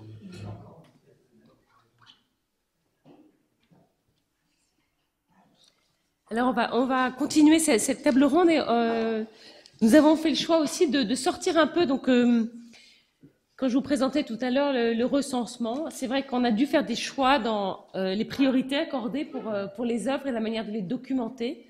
Et on a fait le choix de ne pas documenter l'histoire des restaurations de chaque œuvre, parce qu'on s'est dit que sinon on allait tomber dans un puissant fond, avec euh, toujours une, grande difficulté d'accéder à la documentation des restaurations, puis à retracer ces histoires qui restent souvent encore à écrire. Et donc on a privilégié aussi, parce que c'était cohérent avec cette histoire du goût pour l'Espagne, on souhaite écrire cette histoire euh, des transferts culturels entre France et Espagne on a fait le choix de privilégier euh, les provenances et l'histoire des collections. Et puis ça permet en plus de faire des liens assez intéressants avec les autres bases, euh, les autres recensements euh, et répertoires de l'Institut national d'histoire de l'art via, Agora. Donc c'est vrai qu'on s'est, peu intéressé à la restauration. Mais puisque ce soir on parlait des, peintures espagnoles dans les collections publiques franciliennes, il y a une grande actualité autour de Zurbaran. Et donc, on a aussi, pour la table ronde, fait le choix de s'intéresser donc euh, à la, question de, ces toutes dernières restaurations. Et donc, Stéphane Alavena va nous présenter la restauration du Zurbaran de l'église de Saint-Médard. Et moi, je vais présenter deux secondes avant Stéphane Alavena qui est aussi un ancien élève de la Sorbonne, hein, et, on est vraiment une maison très bien, et euh, Stéphane, qui est conservateur à la Coarque, conservation des œuvres d'art religieuses et civiles, en charge de la conservation du patrimoine des églises qui sont la propriété de la ville de Paris. Et toutes les églises de Paris ne sont pas la propriété de la ville de Paris. Voilà. Merci.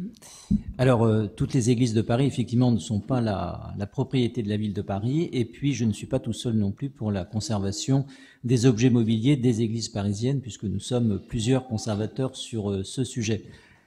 Alors, je vais vous présenter donc euh, aujourd'hui effectivement la, restauration d'un tableau de Zurbaran qui s'appelle donc la, auquel on a donné le titre de Promenade de l'Enfant Jésus et Saint Joseph, qui, merci, qui se trouve donc à l'église Saint-Médard et qui euh, a été restauré donc entre 2021 et 2022 sous le contrôle donc de la conservation des œuvres d'art religieuses et civiles et des monuments historiques puisque le tableau est classé aussi depuis 1963. Restauration qui a eu lieu donc dans les ateliers de la ville de Paris à Ivry, qui a pu, euh, enfin, qui a été rendu possible grâce à un mécénat qui a été réuni par la Fondation Avenir du Patrimoine, et qui a pris en charge l'ensemble euh, des opérations, et restauration qui a été faite donc par un groupement avec euh, lequel donc la ville de Paris a un marché, donc le groupement de Madame Pauline Lascourège.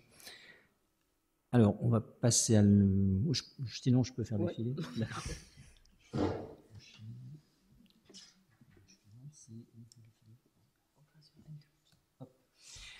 Alors, un petit mot d'abord sur les raisons de cette restauration.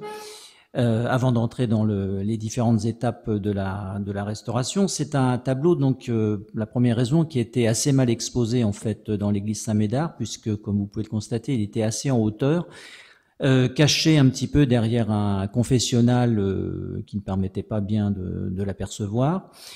Et puis, euh, l'image de droite vous le montre, c'est un tableau qui était très sombre, on ne distinguait pas tellement euh, notamment le, paysage, et il était inclus en plus dans un cadre euh, très poussiéreux. Vous le voyez en partie basse, euh, il y avait beaucoup d'éléments qui manquaient parmi le décor des oeuvres qui entourent justement la toile. donc l'état de présentation général était quand même assez mauvais. Et puis la deuxième raison, évidemment, qui nous a amené à programmer cette restauration, c'est que ça permettait quand même à la ville de Paris d'intervenir sur une œuvre assez prestigieuse, euh, une des rares euh, œuvres en fait espagnoles présentes dans les collections euh, des églises parisiennes, hein, aux côtés, on l'a évoqué tout à l'heure, du tableau de Pereda, et puis d'un tableau qui est attribué à Espinosa aussi, je crois, à l'église de Saint-Michel des Batignolles. Euh, donc euh, ce tableau, évidemment, c'était donc un morceau de choix, et à l'occasion de la restauration, nous avons aussi découvert, euh, grâce à une paroissienne qui a euh, dépouillé les registres de délibération du Conseil de fabrique de l'église Saint-Médard, qui sont conservés à l'église Saint-Médard, nous avons retrouvé la date d'arrivée de ce tableau dans l'église qu'on ne connaissait pas vraiment euh, jusqu'à présent. Donc la date, c'est le 11 janvier 1889, euh, date à laquelle le curé euh, Pierre-Louis Jouan, comme le dit donc le, la source, fait don à l'église de ce tableau aux côtés d'autres objets pour cette chapelle Saint-Louis où il est donc toujours accroché depuis euh, la fin du XIXe siècle. Alors, les étapes de la restauration. Euh, la première étape, c'est évident, ça a été le décrochage du tableau, donc en février 2021. Donc, il a fallu évidemment euh, faire appel à une société spécialisée avec laquelle, là aussi, la ville a un marché, la société LPR, qui a donc installé ce qu'on appelle un, échafaudage autoportant pour descendre le tableau, qui a été donc soigneusement euh, tamponné également pour son acheminement à Ivry. Et lors de ce décrochage, eh bien, euh, si je puis dire, nous avons donc fait euh, une découverte, c'est que le mur derrière était extrêmement euh, abîmé, euh, très humide. Bon, on voit les traces euh, du châssis. en bas aussi, c'était très sombre. Tout ça provenait en fait d'infiltrations qui venaient de, de l'extérieur, qui n'avaient pas été traitées. Et donc, il a fallu aussi proposer aux mécènes la prise en charge de la restauration du mur. Euh, c'est des choses qui arrivent assez fréquemment quand on décroche des tableaux dans, dans les églises. Alors, arrivé donc à Ivry, la première euh, chose, c'est que le tableau a fait l'objet de ce qu'on appelle une étude préalable, hein, c'est-à-dire un examen approfondi de son état avec des propositions de traitement et un devis qui était autour de 38 000, 40 000 euros à peu près, euh, ce qui était déjà quand même une, une assez belle somme. Alors, ce qu'on voit évidemment, euh, ce qu'on a évidemment eu comme confirmation, c'est que le tableau était recouvert d'une couche de crasse assez importante qui provenait, bon, classiquement de la suie des bougies, euh, des appareils calorifères, pardon, qui étaient couramment utilisés dans les églises jusque dans les années 60-70, de la pollution urbaine d'une façon générale. Ce que vous apercevez donc déjà sur ces deux tests qui ont été faits donc euh, à ce moment-là, euh, d'abord à l'eau euh, déminéralisée, puis ensuite avec l'aide de solvants.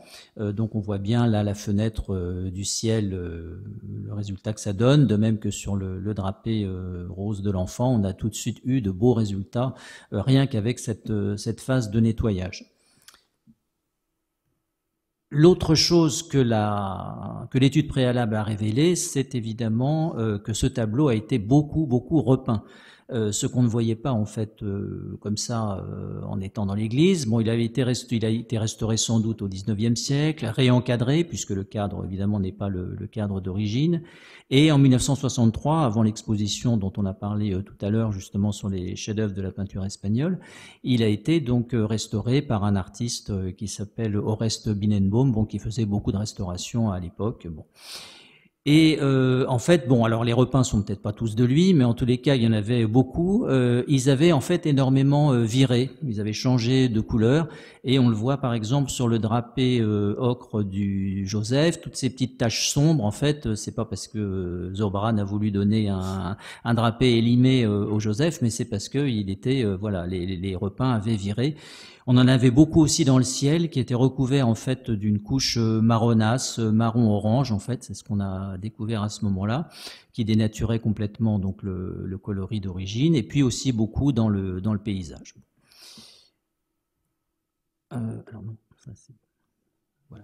Donc, pour le reste, tout était bien. Hein. La toile était euh, bien tendue, bon, un peu poussiéreuse, mais bon, voilà, bien tendue. Il n'y avait pas de déformation. Le châssis assurait son, sa fonction. Donc, en fait, vraiment, on a centré la restauration sur la couche picturale, euh, sur le cadre, bien sûr, et, puis sur euh, le mur.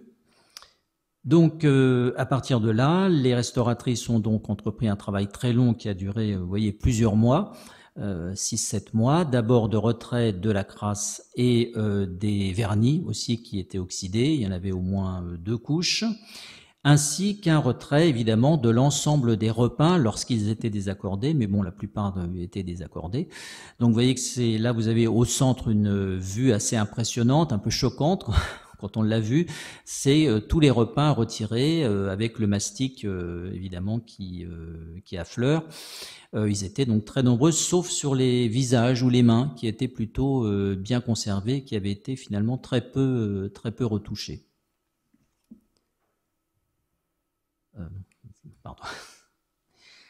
Alors ensuite, bon, le cadre, pendant ce temps, donc le cadre a été restauré. Le retour du tableau donc s'est effectué en mars 2022. Le sur un mur, donc vous le voyez à gauche, euh, entièrement donc euh, restauré, donc on l'a, le mur a été purgé, euh, réenduit, et le faux appareil en fait qui le recouvrait, puisqu'en fait c'est pas les vrais joints du mur, ont été également entièrement repris par une restauratrice peinture murale, ce qui a permis de créer un environnement quand même beaucoup plus favorable. On a choisi donc de redescendre un peu le tableau, euh, donc on a créé aussi un nouveau système d'accrochage, et puis euh, on a évidemment euh, déplacé le confessionnal, on l'a mis dans une autre chapelle voisine de façon à ce qu'on puisse apercevoir vraiment le, tableau en pleine lumière, et puis on a aussi posé un petit cartel à côté pour expliquer un petit peu les conditions de la restauration et rappeler le mécénat, puisque le mécène voulait absolument qu'on fasse figurer évidemment son enfin pas son nom, mais au moins son, action.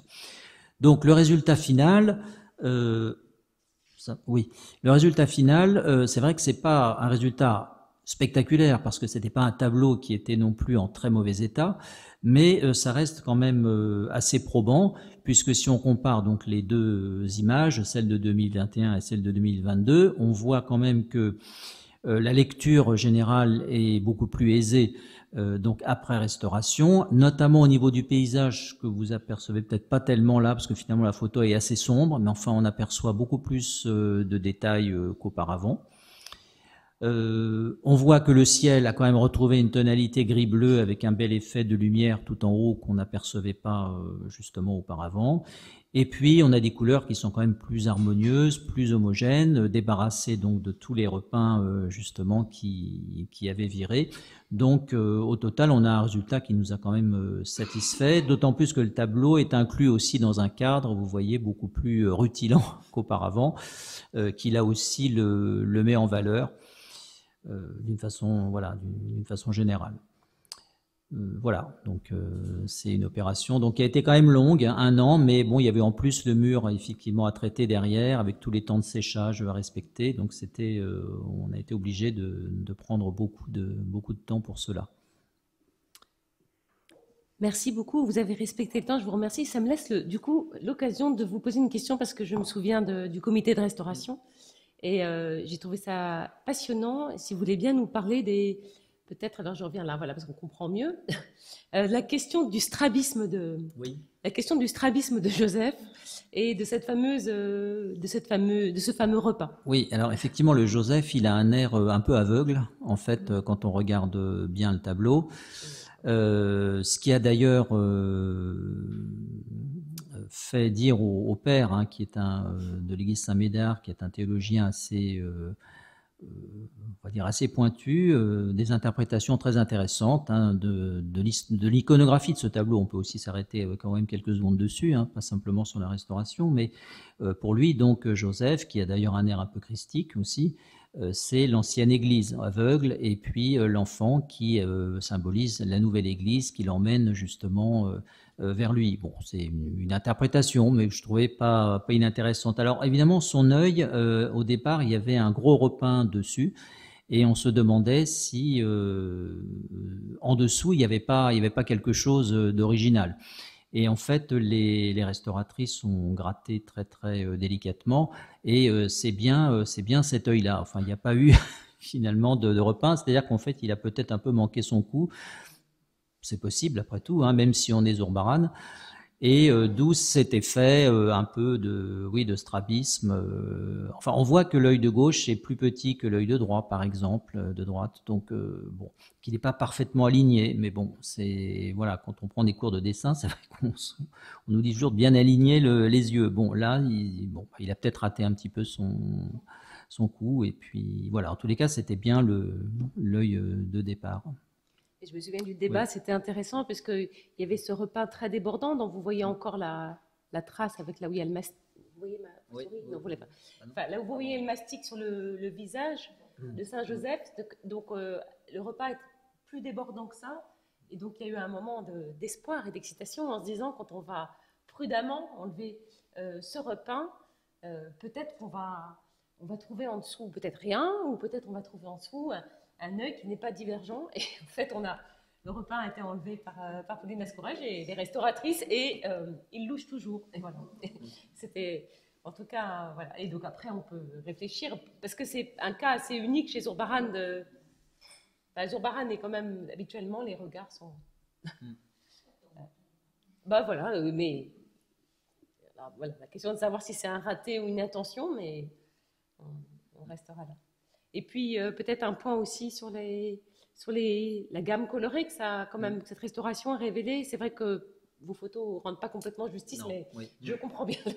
je dis ça parce que dans une minute, ce sera mon tour.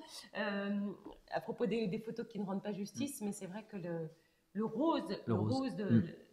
de, de, la, de la euh, tunique de l'enfant mm, mm, Jésus est absolument extraordinaire. C'est un rose bah, à la fois pâle, mais assez mais aussi euh, très, très subtil et très présent. Dans la, il y a quelque chose de, qui a été révélé par ce, par ce nettoyage et cette restauration. Mm. Euh, euh, l'équilibre en fait des volumes et des couleurs est, maintenant très différent. Et donc, si vous l'avez pas fait, alors voilà un très beau tableau qu'on peut aller voir, qu'on peut aller voir dans, dans l'église. Oui.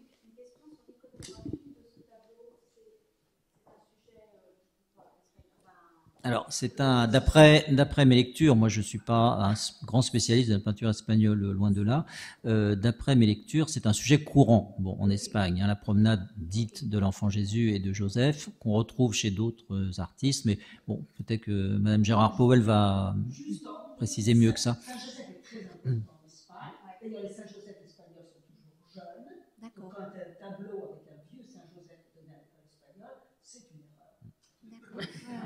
Euh, et ça, c'est un culte qui remonte à Thérèse d'Avila. D'accord. Et, et donc, euh, depuis la fin du XVIe, il y a toujours une dévotion à Saint Joseph qui est fondée sur, euh, qui vous représente un homme jeune, un homme dans la force de l'âge. Et donc, c'est pour ça que tout à l'heure, j'ai un petit peu poussé. Nous, on l'appelle la promenade de l'enfant Jésus, mais je parierais qu'au départ, c'était un tableau sur, pour un hôtel dédié à Saint Joseph. D'accord. Hein, Saint Joseph et, et- et le personnage euh, personnage principal, c'est le père terrestre de, euh, de, l'enfant, celui qui, est- qui élève l'enfant. Donc il le sort. Parce que donc, moi, boulot, je, je- je ne suis pas euh, impliquée par la peinture espagnole comme la plupart des personnes ici. Et du coup, j'essayais de comprendre cette histoire de strabisme, etc. Et je pensais à une iconographie plus courante dans le reste de, de la peinture, qui est Toby et Toby et Loge. Oui, Toby et, To- Toby et Loge. Et, Non, non. et comme il est aveugle, enfin, il me semble. Mais là, je pense qu'il n'y a pas de doute, parce que comme l'enfant tient la croix, euh, c'est... Non, non, et puis lui, et lui a son bâton fleuri. Oui, oui, oui. Lui a son voilà, bâton fleuri. C'est, c'est, D'accord. il, il y a notamment en Espagne, il y a une iconographie qu'on appelle les deux trinités, la trinité terrestre et la, tri- la trinité terrestre et la trinité céleste. Mhm. vous voyez Et donc, euh, c'est aussi une thématique qu'on trouve en Flandre, hein, la promenade du Christ et de ouais. la Vierge et, et- et de, et de ce Saint Joseph. Un très- alors, je voudrais juste, je voudrais rajouter une petite chose. Euh, ce tableau a été en fait, qui était à Paris depuis, vous avez dit 89, hein Alors oui, il a été offert donc par le Louis-Pierre Jouan le 11 janvier 1889. Maintenant, on ne sait pas d'où il l'a tenu. Voilà. hein, Mais mais c'est Pierre Rosenberg qui l'a découvert, le jeune Pierre Rosenberg qui l'a découvert avant l'exposition de 1963. Donc il, il est resté pendant des années dans, une, dans Saint-Médard sans qu'on Mm. sache. Et ça a été une, ça a été oui, oui, parce qu'il a été offert euh, comme euh, tableau de l'école espagnole. hein. C'est ce Voilà. qui est mentionné dans la mentionné voilà dans le registre. hein. C'est pas. Et c'est à Orléans aussi, à la cathédrale d'Orléans, qui est un autre grand souverain.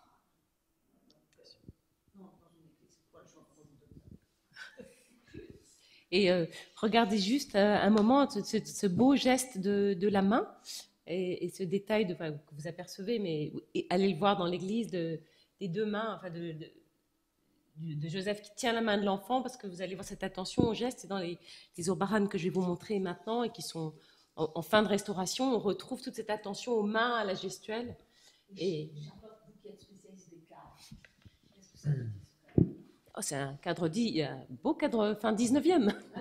Ah, Non, restauration, pardon. Restauration. C'est un cadre restauration. Donc assez logique au dix- dans le goût du 19e siècle, tout à fait, ouais. C'est un cadre typique restauration.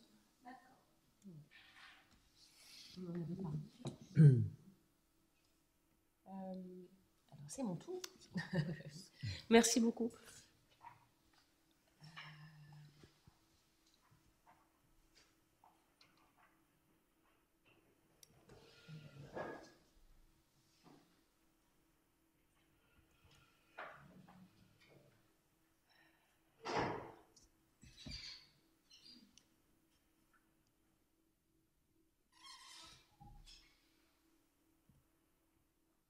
Alors vous allez le voir, il y a, des, points communs. Il y a aussi des, situations peut-être encore plus, graves, et donc une restauration qui a été euh, euh, encore plus, euh, qui a dû être vraiment fondamentale, puisque les, tableaux de Zurbaran conservés au musée du Louvre, les deux grands tableaux du cycle de Saint-Bonaventure, sont encore, viennent de, sont en toute fin de, donc d'une restauration fondamentale qui a concerné à la fois le support et la couche picturale. Donc vous avez là ici euh, les quatre tableaux qui proviennent donc du cycle de Saint-Bonaventure, qui sont conservés au, au musée du Louvre, deux tableaux de Francisco de Zurbaran, euh, à votre droite, et euh, donc deux tableaux de Herrera l'Ancien, tels qu'ils étaient donc euh, accrochés dans la grande salle Murillo, tout au bout de la grande galerie, en 2019. À un moment d'ailleurs où il y avait encore derrière eux la peinture espagnole. Maintenant, c'est Goya qui est.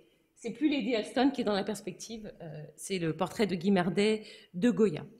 Donc, je vous le disais, donc les quatre peintures proviennent donc de l'église du collège de Saint-Bonaventure de Séville. Ils ont été peints vers 1629. Euh, ils faisaient partie d'un ensemble plus vaste. Donc euh, voilà les photos donc, des deux tableaux de Zurbaran, Saint Bonaventure au Concile de Lyon et l'exposition du corps de Saint Bonaventure, euh, tels qu'ils étaient donc avant restauration. Et on les connaît dans cet état depuis, depuis très longtemps. Euh, donc avec un vernis assez oxydé que vous percevez ici, euh, mais bon, globalement, de- de- des tableaux très importants qui ont été très souvent exposés.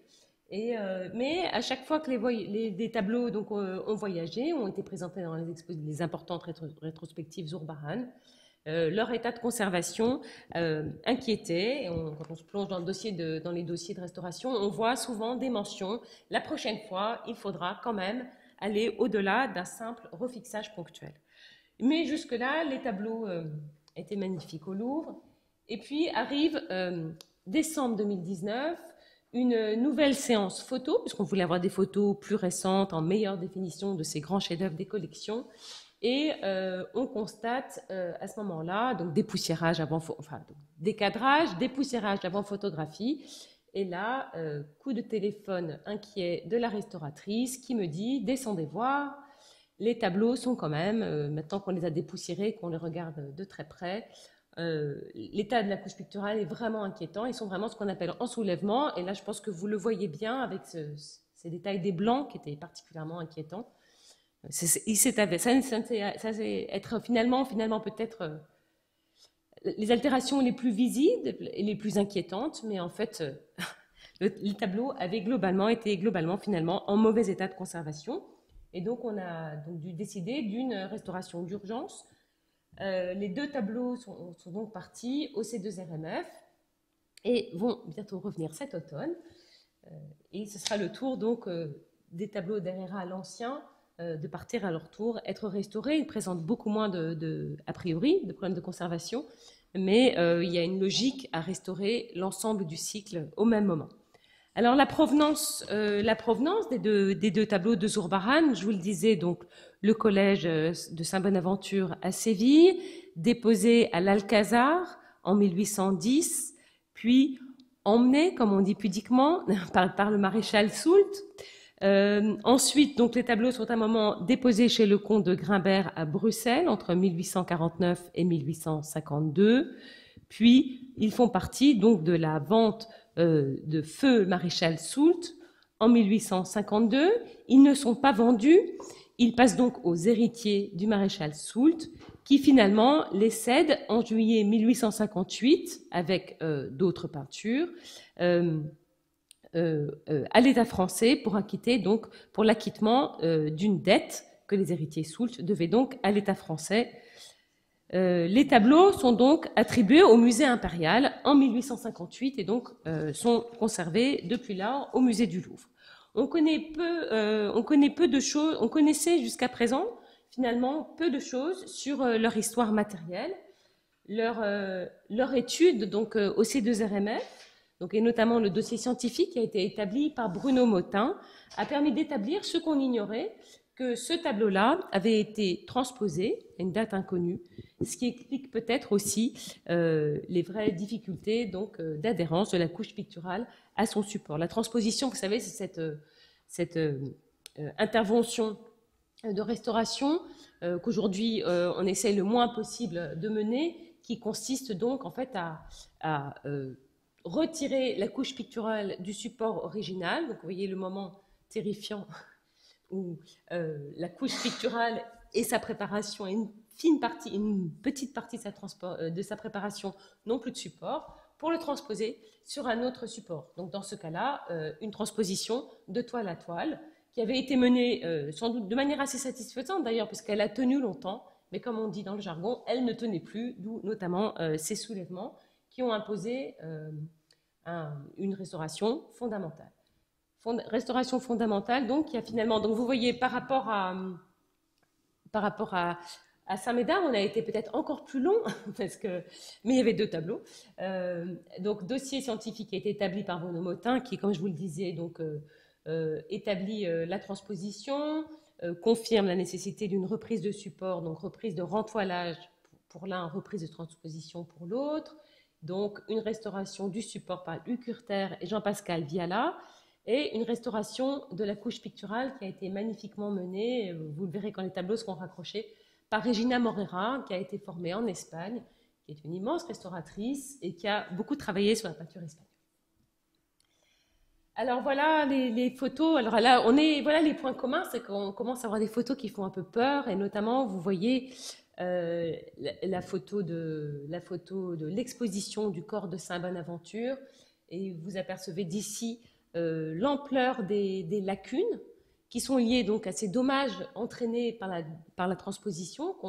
Donc une fois que euh, Regina Morera avait retiré donc non seulement des couches de crasse et de vernis oxydé, très nombreuses couches de vernis. Elle a aussi retiré donc des repeints qui étaient désaccordés.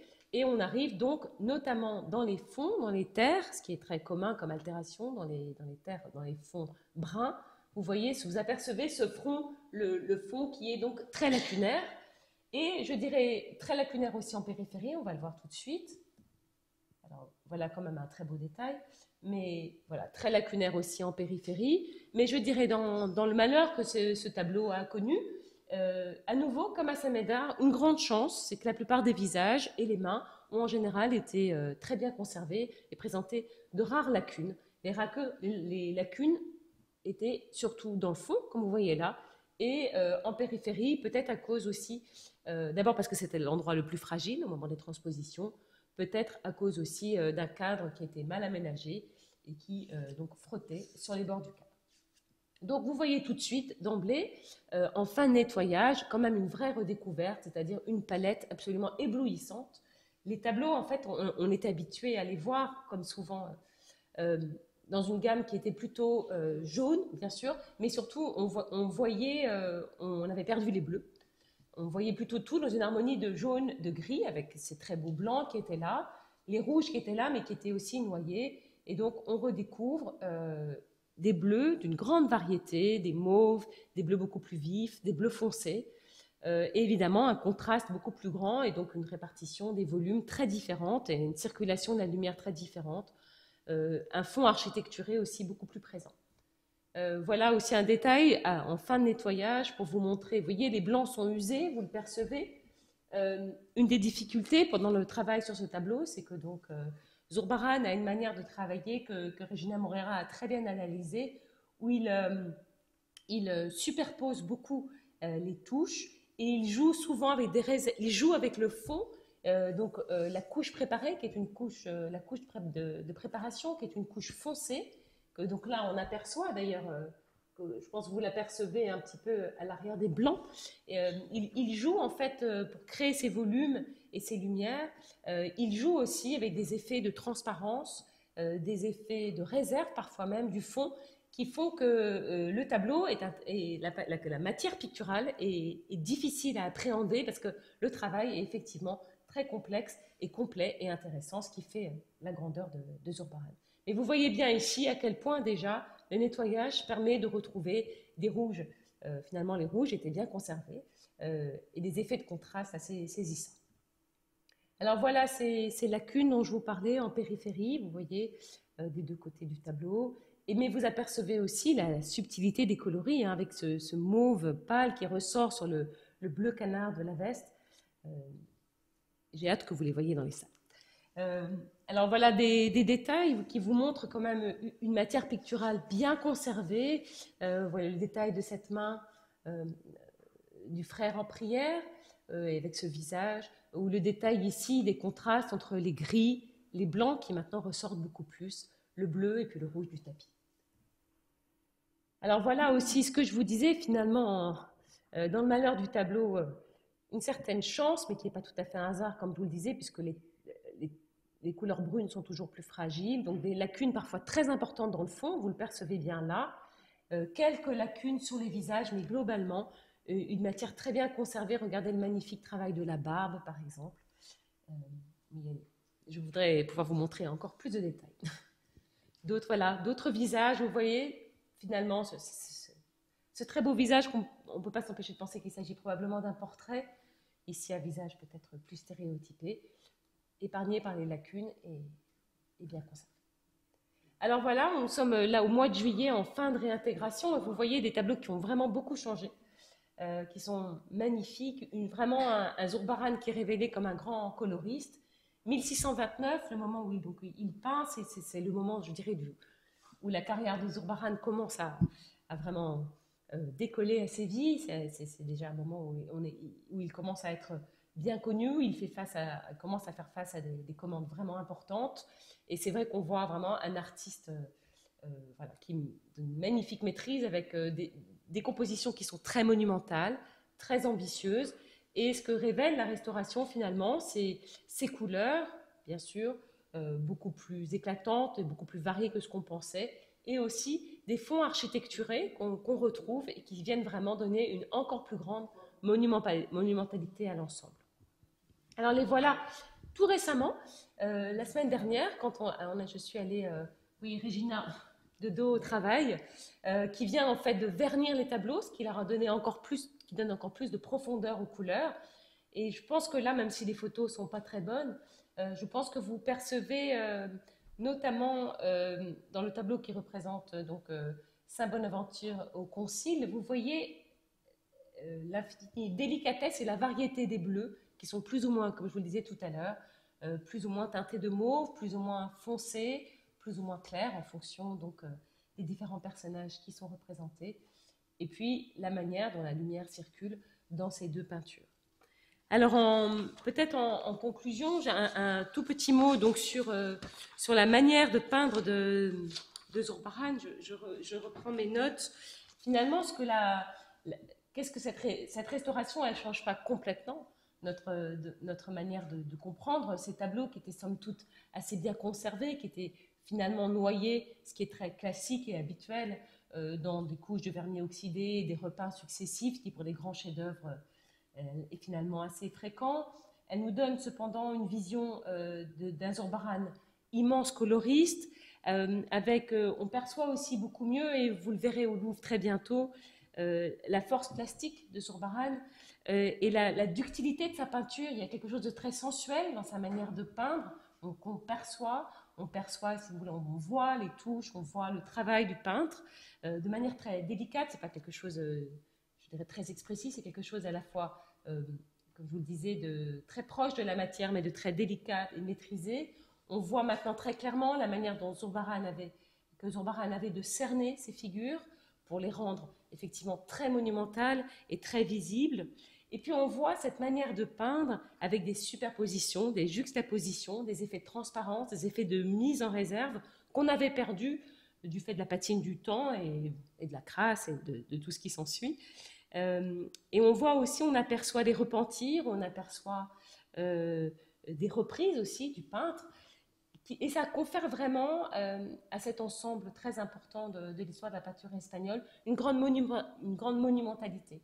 Euh, d'une certaine manière, la restauration rend aussi à ces compositions leur, monumentalité au sens de leur lisibilité et la manière dont les figures s'inscrivent dans l'espace, la manière dont la lumière circule, le jeu aussi avec le fond.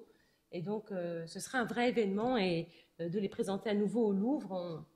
On, travaille en ce moment sur la délicate question du retour de ces grands tableaux dans les salles espagnoles. Je dis délicat parce qu'il faut une équipe nombreuse pour euh, les transporter, pour les raccrocher en toute sécurité, pour décrocher le même jour les tableaux de Herrera. Mais donc j'espère, euh, sans vous faire de fausses promesses, que vous pourrez les voir au Louvre euh, au mois de décembre. Décembre de cette année, bien sûr. Je vous rassure. Merci beaucoup. Je ne sais pas si vous avez des, questions. Moi, j'ai une question totalement. J'ai un trou de mémoire.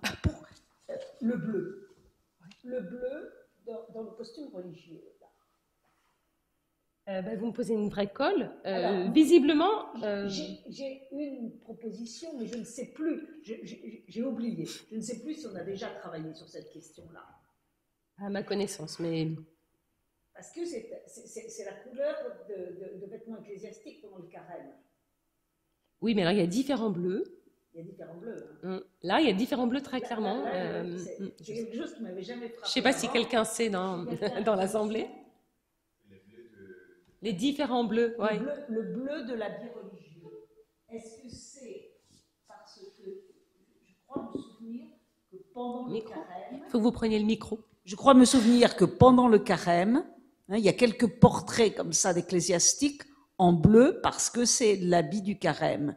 Mais je, dis ça et tout d'un coup, ça m'a frappé devant cette restauration. hein. Euh, Qu'est-ce que ce bleu? Eh, bon- bonsoir, je suis David Garcia Cueto, conservateur de la peinture italienne et français au Musée du Prado. Avant tout, je voudrais eh, exprimer mes félicitations pour le projet. Eh, félicitations Charlotte, Véronique et à tous les participants. C'est vraiment important pour la culture espagnole, eh, cette initiative que vous avez. Mon cher collègue euh, Joan Molina, euh, conservateur de la peinture du Moyen Âge de la Renaissance au Prado, m'a demandé de vous offrir euh, notre collaboration euh, si vous avez besoin. Et alors, euh, je suis vraiment très heureuse d'être ici avec vous ce soir. Alors, euh, la réponse euh, pour ma chère professeure Véronique Gérard. Je crois que le bleu, c'est la couleur que dans les documents italiens nous trouvons appelée pavonazzo. Et sa couleur est destinée euh, majordomi du palais sacré de Rome. Mais dans le contexte espagnol, ces couleurs, je crois que ça c'est euh, euh, le tableau que Véronique a, recordé, euh, est, est destiné au patriarche de Sinde, qui est le prêtre qui a servi la chapelle, royale à Madrid. Le patriarche de Sinde a cet vêtement bleu. Le patriarche de Sainte, ah, oui, qui est le titre donné au chapelain du palais à Madrid. Euh, Peut-être. Et a une question aussi pour Charlotte. Et Charlotte, est-ce que vous avez fait euh, de nouveaux matériaux euh, d'examen euh, technique, de nouveaux réflectographies ou de nouveaux radiographies pour Oui, ce oui, tableau tout à fait. Oui, il y a tout un dossier scientifique. Oui, on avait des, on avait en fait euh, des radios anciennes, mais on a fait une réflectographie et puis on a fait euh, euh, quelques pointages pour identifier des pigments. Donc, euh. Est-ce qu'ils donnent des nouveautés sur la procédure technique, euh, sur la procédure de non, pas vraiment. En fait, c'est très cohérent avec ce qu'on connaît de la technique de Zurbaran. C'était très cohérent. Euh, la seule nouveauté, c'était que le, euh, l'exposition de, Cor- de Saint-Bonaventure avait été transposée. Ce, que, ce, qu'on igno- ignorait, parce qu'on l'histoire n'est pas. et en fait, c'est jamais très simple de, de- de repérer une transposition. Enfin, parfois c'est très simple, mais c'est parfois aussi délicat. Et c'est vrai que c'est Bruno Motin qui, qui a repéré ça en travaillant euh, finement sur le support et à l'aide du dossier scientifique. Mais sinon, en termes de mise en œuvre, de manière de travailler, ça confirmait ce qu'on ce qu'on connaissait de la manière de peindre de Zurbaran. Donc, euh, mais il faudrait qu'on publie ce matériel pour qu'on et qu'on le partage. Alors, vraiment, félicitations pour cette magnifique ré- récupération. Et je voudrais profiter de votre présence pour des questions. Alors, euh, au Prado, nous sommes maintenant en train de récupérer cette im- importante salle de l'ancien palais du Re- Retiro, que vous connaissez bien, le salon des royaumes. Et nous voulons réaccrocher tous les tableaux dans la place originale, mais il y a un manque, un manque d'un tableau pour les, pour les troupes napoléoniennes. Et, oui, en cas qui existe encore, doit être en France. C'est une grande scène de bataille et ça serait très important pour nous de les retrouver. Peut-être attaché à ça que Laetitia a présenté, peut-être le même euh, général qui, qui a porté un deuxième tableau de, de ce euh, ensemble du Buen Retiro. Et autre question, euh, euh, j'ai parlé avec Véronique sur autre manque. Et nous n'avons encore euh, complet euh, le cycle du, de l'ange gardien d'Alonso Cano. Et, et ces tableaux, en cas d'exister, Mhm. encore euh, sont en France. Alors, euh, c'est notre...